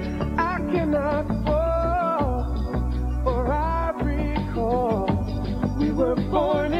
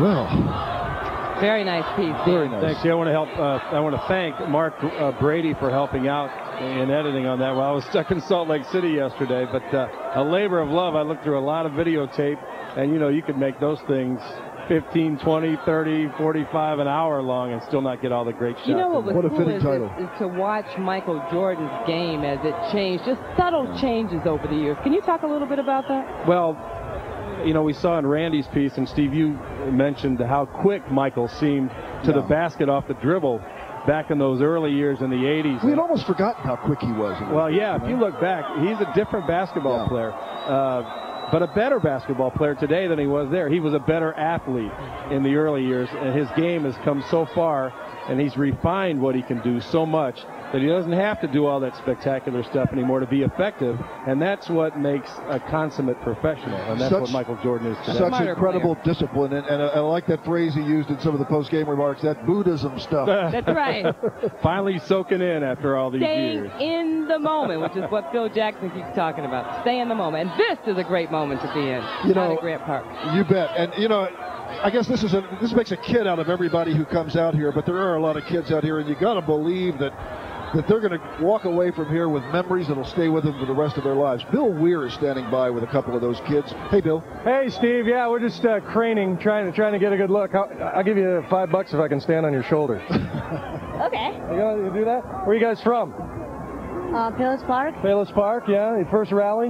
Yeah. Yeah. Hey, down in, oh, look at that, it worked. You just got to yell down in front and it happens right there. Uh, first rally, right? You were here since what, four in the morning? Yeah. Yeah, okay. How you doing? Pretty good. Can I use your binoculars? Do you mind? Yeah. Are you aware your underwear's showing? Oh, yeah. Yeah, that's a good look. Well, uh, from what I hear, guys, you'll be happy to know that the Bulls are just uh, a mere moments away. So uh, we'll kick it back up to Steve and Allison, and uh, get ready. I'm getting on your shoulders next. All right. Listen, those are lu- those are lucky kids. I guess to to have gotten a reserve seat out there, you probably had to get here at two, three, four in the morning. Uh, Yeah, that kid's going to have memories that'll last him the rest of his life, and probably a back problem too if Bill Weir jumps up on his shoulders. Robin Baumgarten is still trailing uh, the Chicago Bulls as they head towards Grant Park. Robin, where are they? Well, I'd say approximately five minutes away, Allison. They're officially off the Kennedy now. They're headed south on Des Plaines, which is the street just a little bit east of the Kennedy, just south of Congress, approaching Roosevelt Road. Last time they took Roosevelt Road, headed east over to Grant Park. Looks like that's what they're doing again this time. And then the buses have to pull up in the middle of Grant Park. But I'd say between five and ten minutes away. But you know what? You'd think with a police escort they could run these red lights, huh? That's not happening. Taking a lot slower than usual. But the funny thing is, guys, if you can see all of these people that know where the motorcade is keep pulling up next to Michael Jordan in the buses and waving and waving and waving, very entertaining stuff. So fans, hold tight. About five to ten minutes away. Back to you guys in the studio. Hey, hi Yeah, there. yeah, yeah, Let me let's tell do you something. There is nobody. Well, I don't know if you're. There, there might be a few more people more excited than you for Michael Jordan and Dennis Rodman's arrival, but this, everybody, is Zeus. And if you doubt his name, check it out. I have to sit here up on a uh, banister and prop myself up on a chair to talk to you. Zeus, you've been in three, four, almost four dozen movies in a very short period of time. You did Fifth Element with Bruce Willis, and you're a great friend of uh, Dennis Rodman's and MJ's, and you're here today. Yes, uh, me and Tommy Ford's in town doing a play called Perilous Time. Ford from New York Undercover. And I'm just here to support Michael Jordan. He's always been good to us.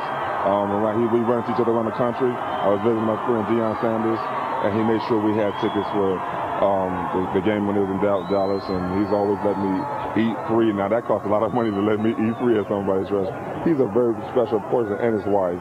And uh, it's just y'all really have a treasure and the whole world would like to just share share it with you. So God bless Chicago and the Michael Jordan fan and, and Dennis Rodman. Uh-oh, it sounds like things are getting picked up. So are you going to be spending some time with Michael and Dennis uh, during the rally today? I'm going to say hi and say thank you for what they did again. And I, and I hopefully I get, I'm going back to WWCW and I get to work with Dennis real quick, not in basketball, but in wrestling. So I'm coming back next month to God's grace. Great, Zeus. Thank you very much. We're going to uh, get over to Ray Clay, who's taking the stage, and you have a great time, all right, Stephen Allison?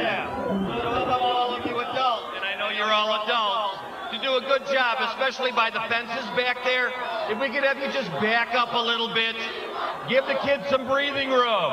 We want everybody to be safe because we're going to have a lot of fun, and it's coming up real soon. So everybody, please help us out. Just back up a little bit. We'll be ready to go in just a few minutes. Go Bulls! You uh, hear the Bulls in-house announcer Ray Clay sort of admonishing the crowd to kind of re- keep some modicum of control, and I think they are. Uh, but uh, we'll have to wait and see. Everything looking okay right It's now. time though. for this thing to get started. What time is it, guys? It's 10:15. We're still ahead of last year's schedule, I think. I think way ahead of where we've been in most other years. So the Bulls will be here in 10 minutes or so, and we'll get things going. Yeah, the crowd uh, kind of pushing up against the metal barricades here, and we're seeing uh, quite a few more police officers yeah, moving in. They're trying to back them up just a little bit. I, you know, everybody's in a great mood out here and having a good time, but you know, you feel a little bit uh, worried for some of these people right in front that might get pushed up against this metal fence, and then um, that fence is not going to stay there for very long if everything starts moving forward. Well, so, let's just pray that everything Yeah, hopefully uh, won't get stays okay. Just to give you a, a, a little uh, insight to what's going to go on this morning, you're going to see the Luvabulls, of course. You're going to see Benny the Bull and Double. Um, they've got Big Fun and the Bulls Brothers. I'm not familiar with Big Fun yet. I'm not either. And of course, Johnny Red Kerr and Jesse Campbell is going to sing the national anthem. So once again, another cute show from the Chicago Bulls for their rally. Did you hear the crowd roar during your video essay, Dan, uh, when they were Kings, when Michael hit that uh, last six-second jumper to win the game? That was- Yeah, we've got our signal pumped into the jumbotron over here, so everybody was watching the highlights. And man, what a great shot! You know, I love that reaction that Michael made. He took the shot, he swished it, nothing but cord, and he kept that finger sticking up for just a second. And speaking of And speaking of it, this this was the cord right here, wasn't it? And this is why I, I got to believe this is why you didn't get in until six o'clock this morning from Utah. You were busy collecting souvenirs, Uh, right? No, you know, we were collecting uh, headaches is what we were collecting, but uh, it was a long trip, but well worth it All to right. get back and uh, see what's going on out here today. maybe someday he'll tell us the real story about how he actually got that. Off air. Off air. Yeah, off won't the be won't be happening in the next hour or so. You know, you can almost watch this crowd grow in size and grow in excitement. Let's get uh, check in now with Dana Kozlov, who's out in the thick of things. Hey, Dana. Hey, once again, you guys, you know what? Um, no one could be happier about this uh, six peat, if you will, than uh, these two gentlemen right here. I'm talking about Frederick Andrews and Cyril Morgan. I think I got your names right. About a year ago, guess what they did? The whole success uh, little slogan. They copyrighted it. So you guys are probably doing pretty well. Tell me why you uh, decided to uh, make that business move a year ago. Well, what happened, uh, we were watching Miami Heat play the Bulls, and we were just thinking about slogans. So my wife thought of success. And you know how you think of something, you don't make an action toward it. Well, I made an action. First thing I did was a poor man's copyright.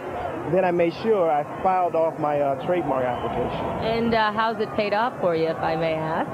Well, sad to say, it hasn't paid off. I've been to all the companies, and they haven't went with it. They went with repeat the three feet. Oh, you're kidding. So no one's gone with it. And you've got this great little slogan, and everyone said, sorry, we've already got them. Well, everybody's using it.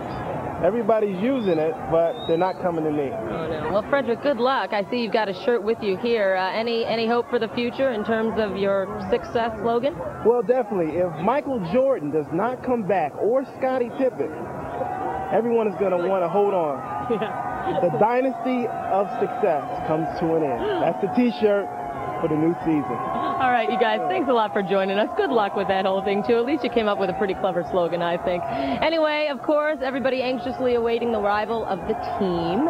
And Robin Baumgarten is still hovering above them in Skycam 9, right, Robin? Can you see me, Dana? Can you see me up here? Of one of the 6,000 helicopters, the Bulls are less than two minutes away. They're headed northbound on Columbus Drive. Approaching Buckingham Fountain in just a matter of moments, we see a crowd of people that's going to greet them on the street, actually, as they get close to Buckingham Fountain. You see the buses here, Michael Jordan's car in the motorcade, uh, Ron Harper in the white car in front of the buses. The first car in the police escort here is just about to approach uh, what looks like Jackson here, or I should say Balbo.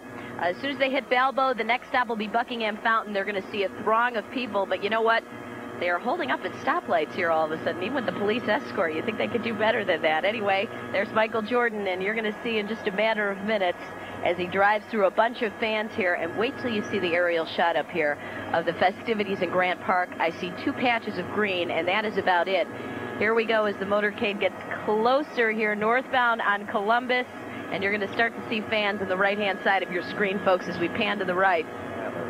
Fans all excited through this whole route. We've seen them on overpasses all along the Edens. And here we go as they get literally half a block away from Grant Park. And you're going to see a whole lot of activity, folks. Back to you guys. Hey, Robin, only a, only Robin, a, stay there, would you? Only a traffic reporter would have an encyclopedic knowledge of which bull is driving what car. You know what? I got so excited because I'm like, do they know that's Michael Jordan's arm? We were looking in the hood of the Range Rover to see if it was Dennis Rodman. We saw no tattoos, so I cannot verify that. But you know what?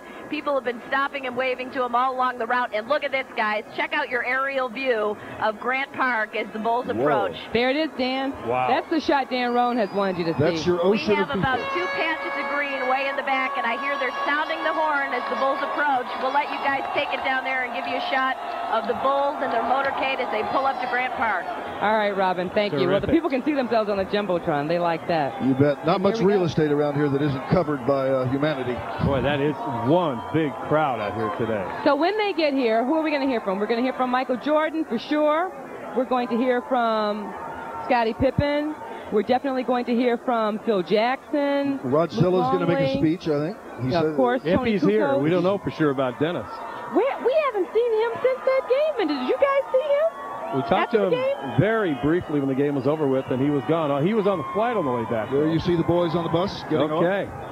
About Yeah, you know, it wouldn't be started. Dennis if he weren't late or didn't do something to. Uh, But will he be back? Will Dennis Rodman be back? Well, if the other guys come back, I think he will. You know, uh, Dennis is also a free agent, as Scottie Pippen is, and he's in that similar situation that uh, nobody can pay him more than the Bulls can pay him. Some sports fans are saying that that guy Jayson Williams, I think who plays for the Nets, could come in and be the next Dennis Rodman for the Bulls. What do you, what do you think of that? Jayson Williams is Okay. a terrific player. I don't know if they could afford him. There's Jimmy Rodgers and Frank Hamblen's back there somewhere. Who's walking up there? Rusty LaRue. And there's Michael Jordan coming out of the car. MJ, the man of the hour.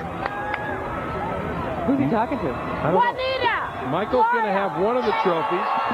Scottie will have one. Rodman's supposed to have one. By the way, you hear that crowd roaring as they see Michael on the big jumbotron screen. There you coming out of go. His car and greeting him. Shaking hands with all of his bodyguards there. Oh, that's his wife. There's Juanita with a t-shirt on. Michael holding a big cigar in his hand. There's Toni. He's gonna supposed to be having one of those trophies in his arms, but he's got his little baby daughter instead for the moment. That's an even bigger He trophy. is. I'd say so. He is a cutie patootie. There's There Scottie. He said, should I get out? Should I get out an hour later? What do you think? 25 million, Scottie, get out. Scottie, go for the money. Leave that guy alone for right now. We'll let him think about it for a while. He's got a big decision to make. There's Phil, Then man. Ready to take a long hike up to Montana and spend his summer contemplating his future. And I know he's focused on this moment. Wife June with him, Dickie Simpkins. Everybody making his way. There's Big Bill Wennington, who dumped half a magnum of champagne on my head Sunday night. Gonna send him a dry cleaning bill? I haven't gotten even with him yet for that, but I will. so in a moment, the uh, people assembled in front of the band show will get their first look at the team, and Is that Bill you can hear another loud roar coming from behind us. Big Bill Cartwright. Here's Jimmy. Is that George Wendt? Is George in the front row again? Is George going to show up? You know what? My eyes aren't that good. Sorry, Dan. Kind of tough to see the monitors with the glare from the sun. The sun coming in there with. Uh... Interestingly, the crowd has gotten uh, rather quiet at this moment. I think they're doing what we're doing, trying to in- identify each uh, individual player as You they walk what? out and sit You down. guys, I still hope. I hope that they will send. Oh, it is. That's George Wendt, isn't it? Oh, Johnny Liggs is going to kill me. Johnny Ligmanowski, the Bulls equipment manager. Oh, okay. John, Tell them you didn't have your. it was a long shot. I could barely see you. I hope that the players will spend a little more time talking to the fans. You know, last year seemed to go by so fast. These people have been out here for hours. You know what I mean? Don't you agree, Dan? It'd be nice, you know. The problem is you can see Joe and Clarence and some of these guys trying to clear a path for Michael Jordan. Is you just can't you can't let Michael get that close to the people because they will storm the gate and knock him over. I mean, it's a dangerous There's situation. Juanita, his wife, along with Michael, walking up to the, to the platform. Is that a security detail with him, Dan? Oh yeah, guys that are with him step by step every bit of the season, Steve. The good friends of all of us, as well as great friends of Michael, and of course, I don't know if Gus Lett is here today. He probably is not. Gus, of course, recuperating from surgery. Saw him in a couple of the playoff games. He looked great. And Gus, if you're listening, we miss you being here and get well soon. Still with the Deep Boys Cartwright. Frank Hamblen, Chip Schaefer, who's definitely leaving at the end of the season, the Bulls trainer who's done such a great job through these championships. Do you know what he's going to do next? Heading up to California, spend more time with his family. Certainly can't fault him for that.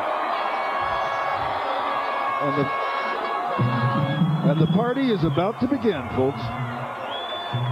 Only the Bulls.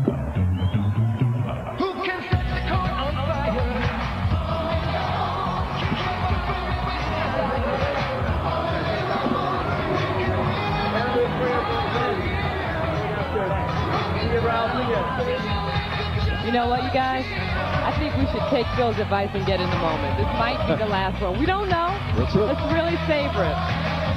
Sit back, watch, and listen. Let's savor this one.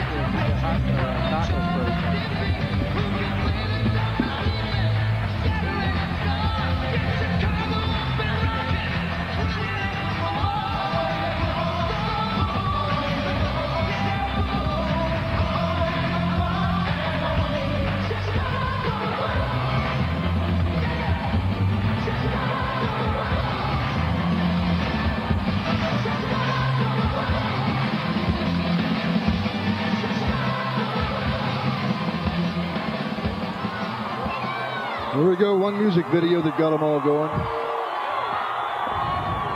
You know, it's interesting. You look at those highlights, and every shot of Dennis Rodman, you see him diving on the floor. he takes a beating. Special events on behalf of Mayor Richard M. Daley uh, and the Jim Bulls Law, organization. the, uh, I want to welcome all of you today to the of Chicago. 1998 Chicago Bulls Championship Rally. With- Without further delay, let's bring on the Luvabulls to bring on begin the program performing "Raise the Roof" with Benny the Bull and the Bull.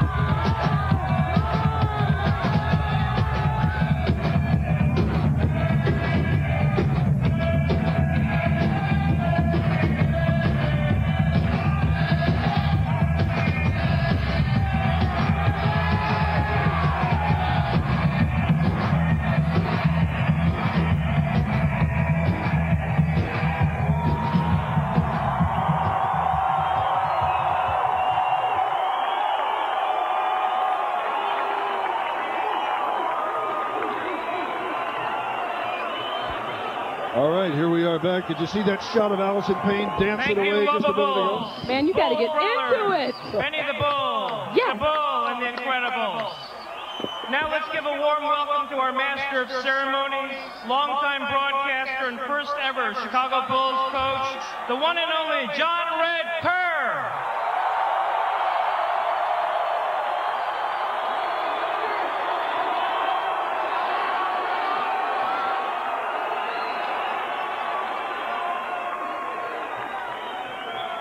Ladies and gentlemen, uh, let me introduce a local recording artist to sing the national anthem, Jesse Campbell.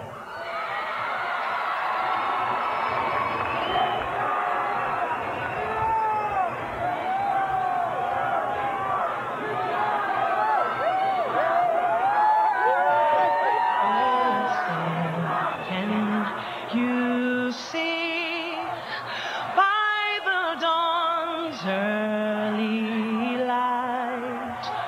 what so proudly we hail at the twilight's last gleaming, whose broad stripes and bright stars through the perilous fights for the ramparts we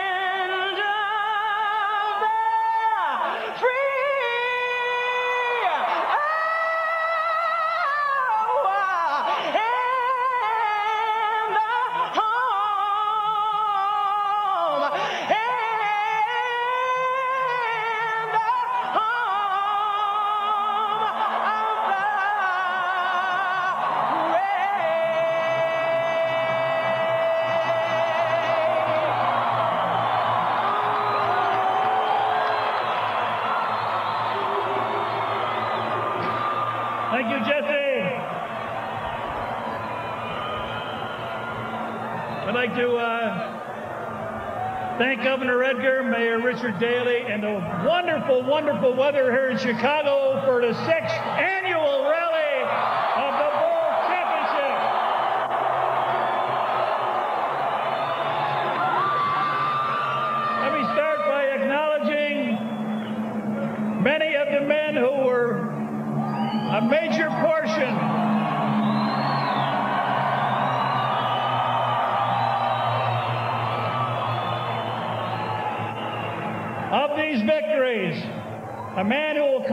second ring on the Bulls coaching staff, Frank Hamblen.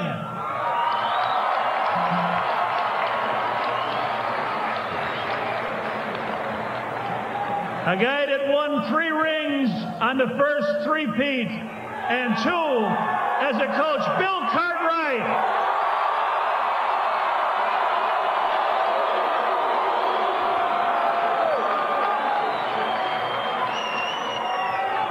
Jimmy Rodgers with three other championship rings, but three with the Chicago Bulls. Jimmy Rodgers.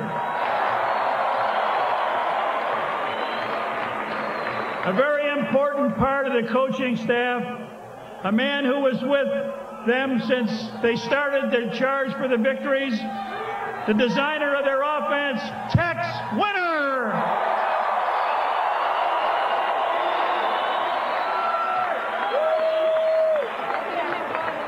I'd like to take you back, if we can, to courtside.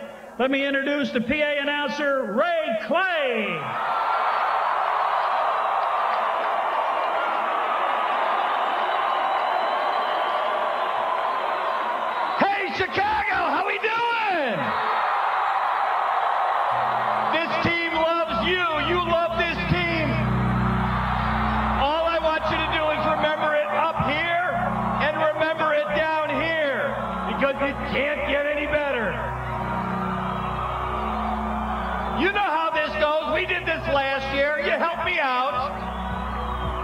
So get ready. We're going to do it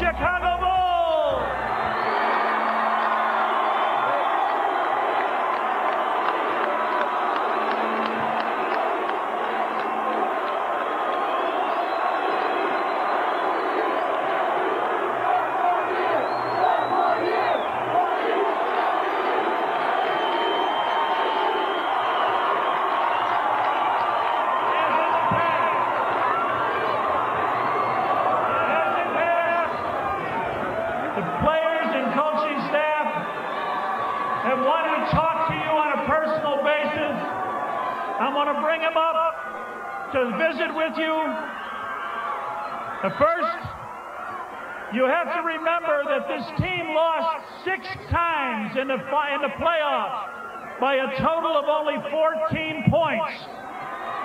They've won 11 and lost only seven on the road in the finals. Let's bring up your coach and ask him about his feelings, Phil Jackson.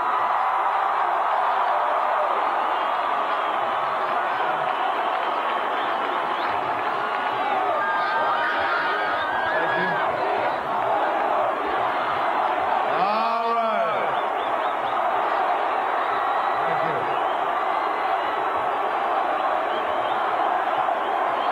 Thank you. All right. Let me say something to you, all right?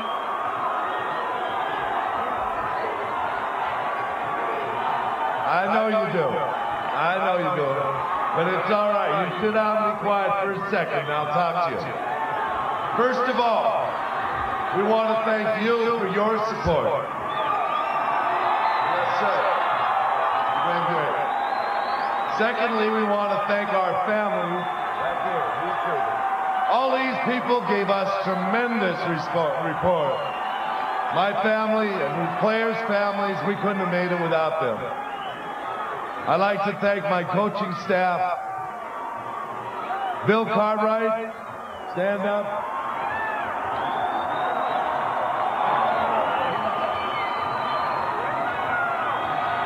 There's Bill Cartwright, former captain, three-time world champion, Chicago Bulls. Frank Hamblen, the mastermind against the Utah Jazz. Jimmy Rodgers, statistician, he's the guy that put it all together for our defense. And finally, a Hall of Famer coach, Tex Winter.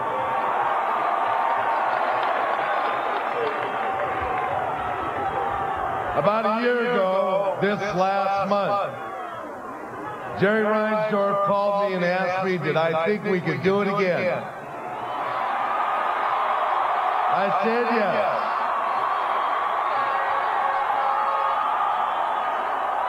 I believed in these guys. All these guys could come back and do this again. I believed in them. And I thank him for that opportunity. Thank you, Jerry. And I want to thank Jerry Krause for giving us the opportunity to do it. He had another plan, but he put it aside.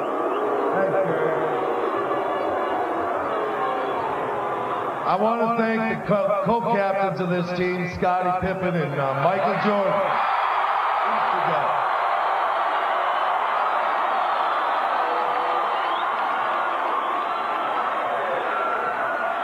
Yeah, they were the heart and souls of this championship run. Without Scottie coming back, we never would have got it done. And Michael loaded us up on his shoulders and carried us home.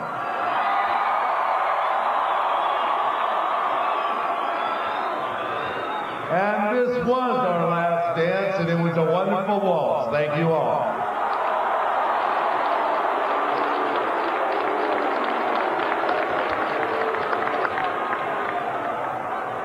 All right, let me call up one of the steadiest players on the Bulls, always there when the long-range shot seems to count, Steve Kerr.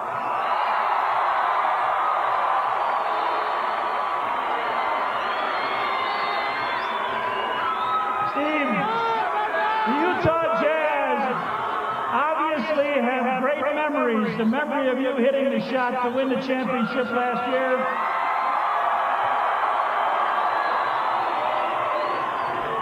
They played you so tight in the last game they wouldn't give you a shot. That's respect, isn't it? Well, my story is not quite as exciting this year, but I'll share it with you anyway. When we called timeout, we were down three with 45 seconds left. I kind of thought to myself, this would be a great chance at a three-pointer to tie the game. And I mentioned that to Phil. And Phil looked at me with this disgusted look, and he said, Steve, let's face it, last year was a fluke. get the ball to Michael and get the hell out of his way.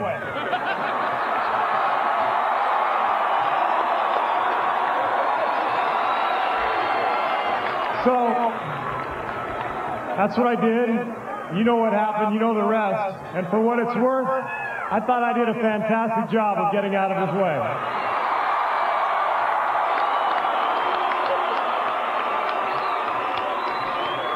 I want to thank all of you for cheering for us and supporting us all these years. It's been unbelievable to experience all this with you. I also want to thank our families behind us, my teammates, the coaching staff. It's been unbelievable. We love you. Thank you.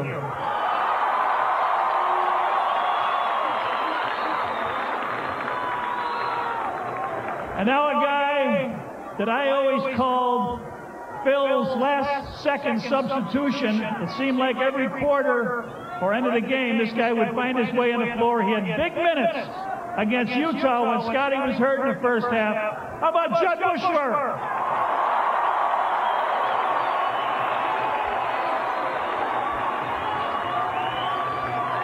Well, it's been a pretty exciting week for me.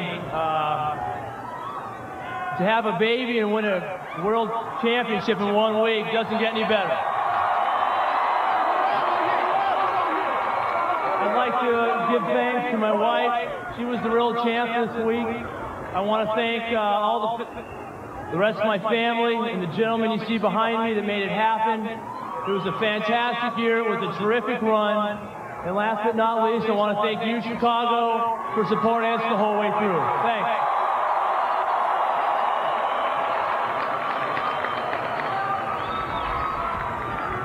The next guy was a great help for the last couple of years.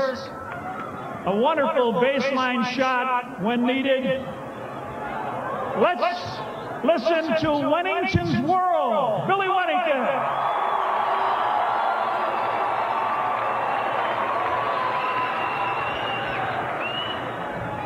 Wow. I got it all on videotape. Mike, maybe I'll send you a copy one day since you were so uh, graceful and, and let me film you once in a while. But I want to thank my wife and my son who've had to put up with me at home, uh, with my mood, and uh, last couple of days, the jubilation that I've had. Most of all, I want to thank my teammates and the coaches who've made the last five years here in Chicago the best of my life, best of my basketball career. I want to thank all you people out there, and I want you all to remember what we have now and what we've done, you can't take away. So whatever the future holds, we have five, six. Love you.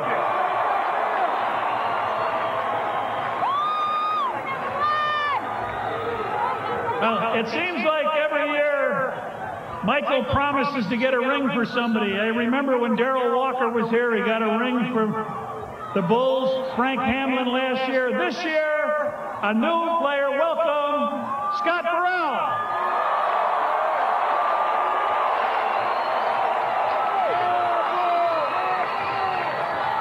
Thank you. I just have a couple of thanks to give out. I'd like to thank the fans and the, and the, and the city for supporting me and the, and the Bulls. Like thank the organization for making the trade to bring me to this great city and a great team. I'd like thank my teammates for working me so hard to get me better and make me a world championship and get me a world championship. And I'd like thank my mom and dad for producing the world champion, and, uh, and I love them. Thank you.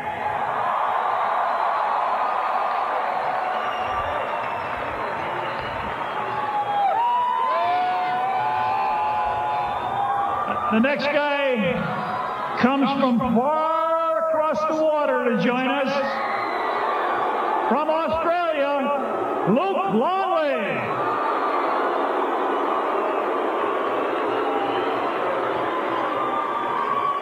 Now, Luke, you had some uh, trouble with your knees during the season. Uh, did the rest pay off for your playoff run?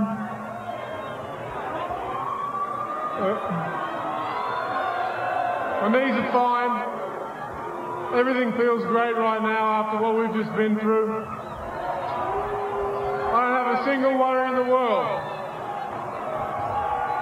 And we've got guys on this team from all over the world. You know where I'm from. We've got Croatians, Canadians, guys from all over America. But we all when we go on the road, and obviously when we're at home, we feel like we represent Chicago. You guys have made it a great place for us to represent. Feels like home. It's great to be on top.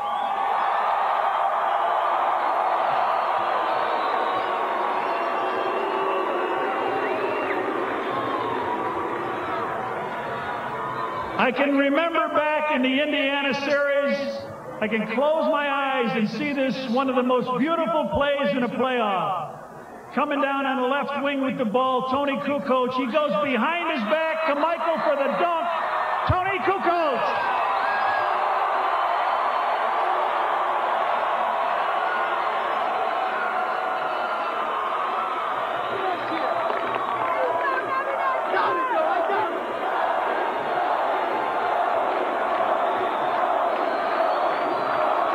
Thank you. Thank you. As a waiter, I have only one thing to say. It's been a pleasure serving you and hope to see you soon.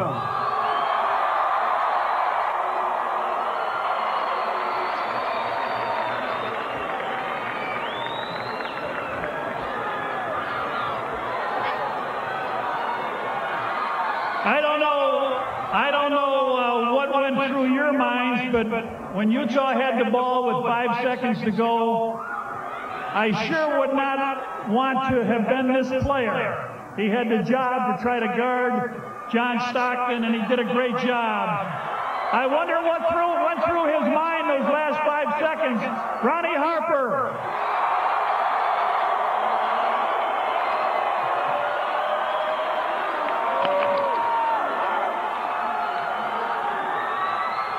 Well, first of all, I'd like to thank my family and friends and my teammates and the coaching staff and all the great fans of Chicago. Thank y'all very much for this dream season. And if it was our last dance, it was a great dance. Thank y'all.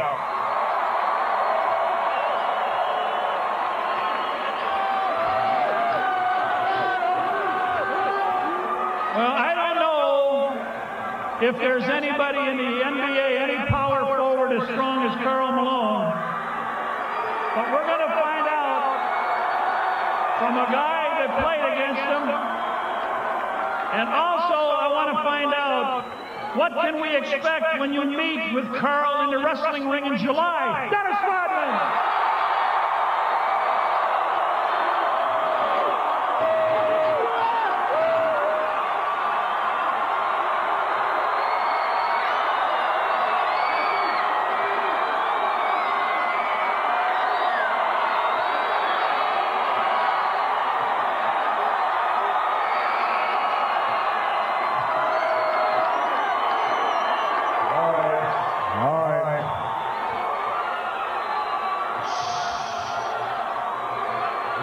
They, they say this is a family show, right?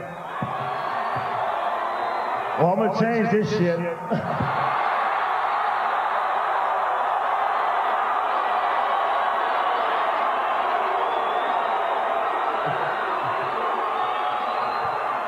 All right, well, you know, um, I don't have much to say, but um, um, I like to thank these, I thank the, the organization, Phil Jackson, and my little girl Alexis, and um,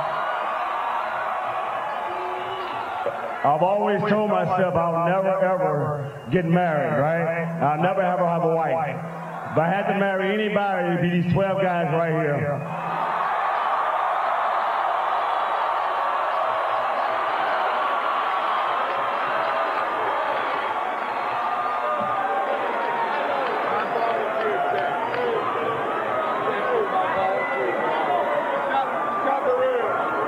I wonder what it felt like to be in the locker room while your team is playing for the championship, being very sick and hurt. I think if you look in a dictionary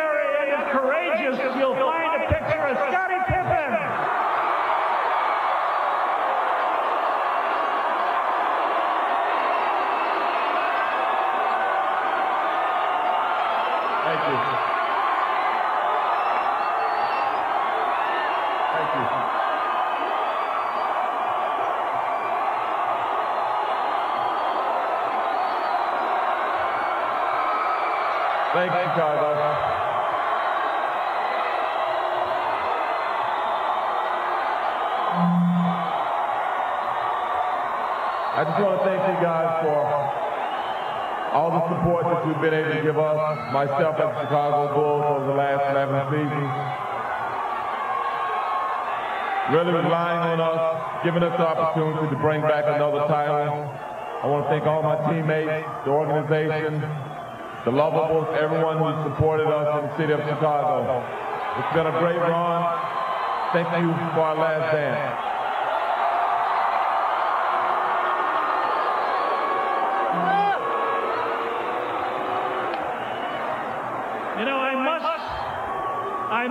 Confess to being addicted to rosin by now.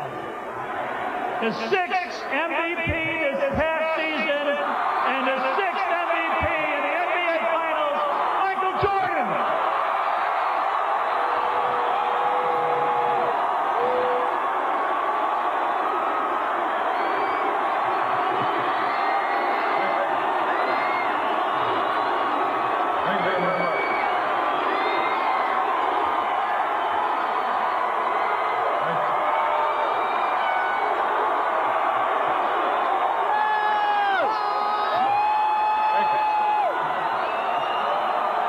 Thank you very much.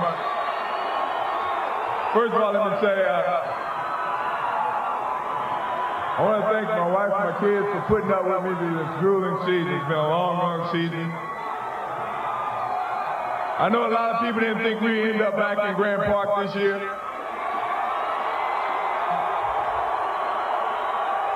Nobody knows if we're going to be in Grant Park next year.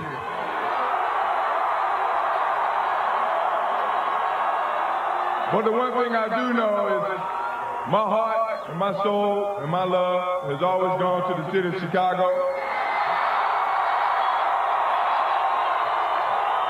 And I do know that no matter what happens, my heart my soul and my love will still be in the city of Chicago.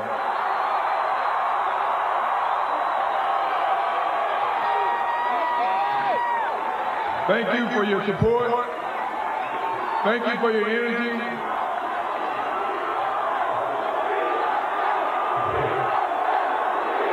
I, I just hope and pray. I just hope and pray that we can have an opportunity once again to share this type of enjoyment in the city of Chicago. Thank you.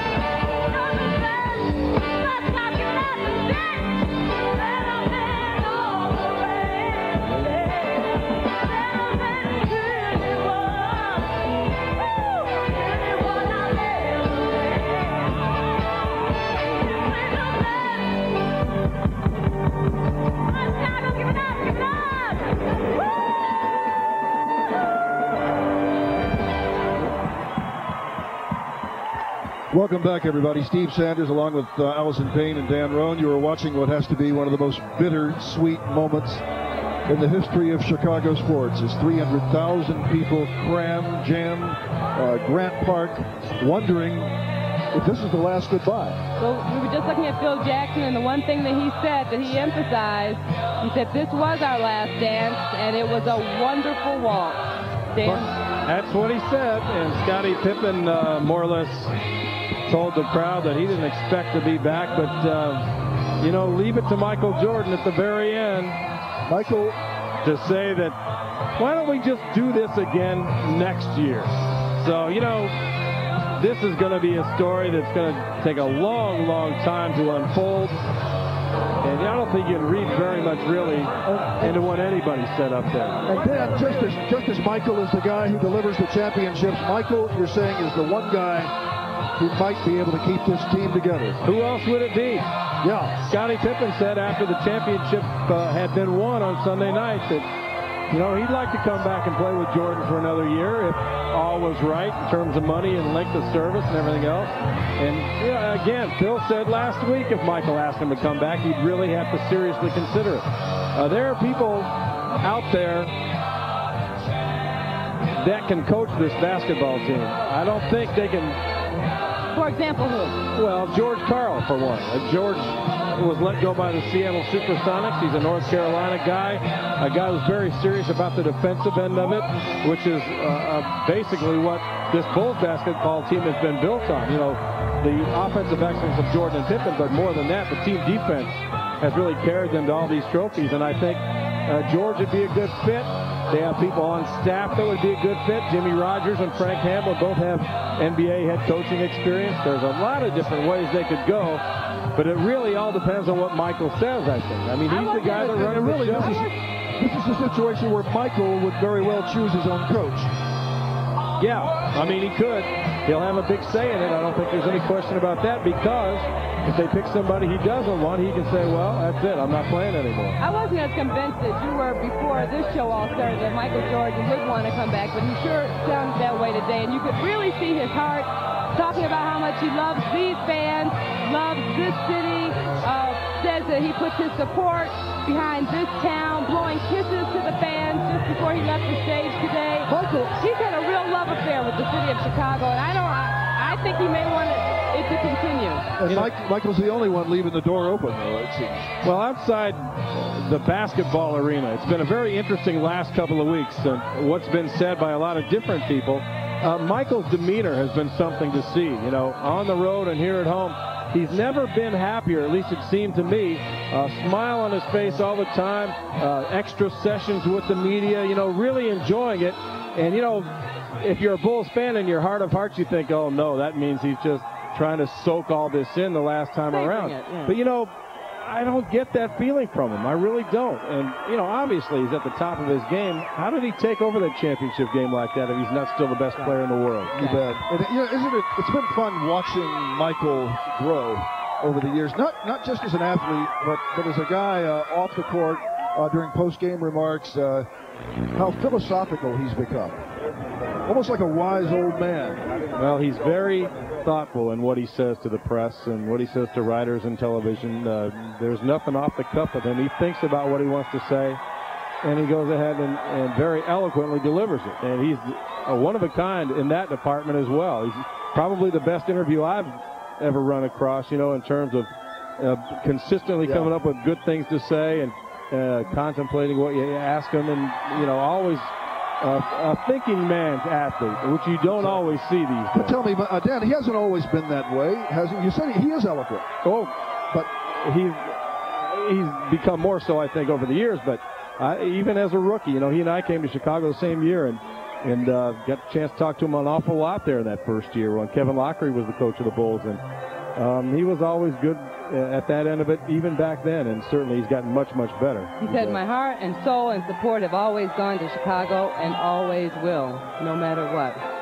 Uh, Bill Weir is out with the fans who just got to enjoy their six-time champion Chicago Bulls. Bill, what do you have for us? People don't want to leave, Allison. I believe they may be here uh, throughout the month as they, uh, they cling to this. Thank you. Thanks very much. I'm with Ken from West Chicago. Ken, your review of uh, of the sixth party.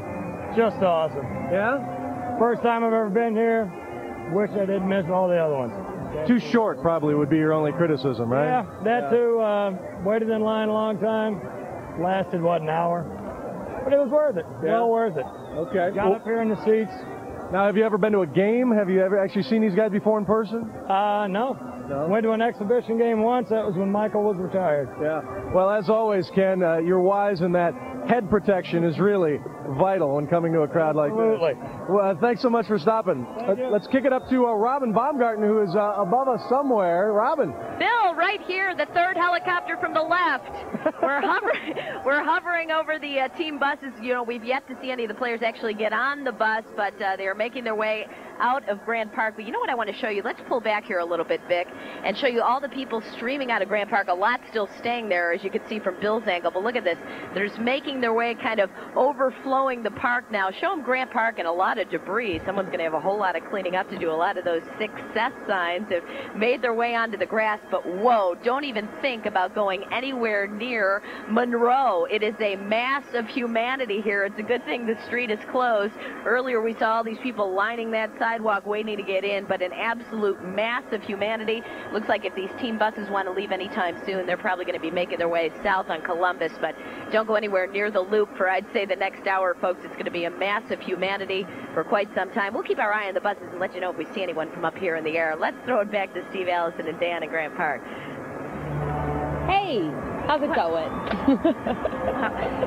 I'm over here on the uh, north side of the Petrillo Band Shell, and um, you know, for some, this season, well, in fact, all six seasons, and uh, these rallies have been sort of a religious experience, but literally.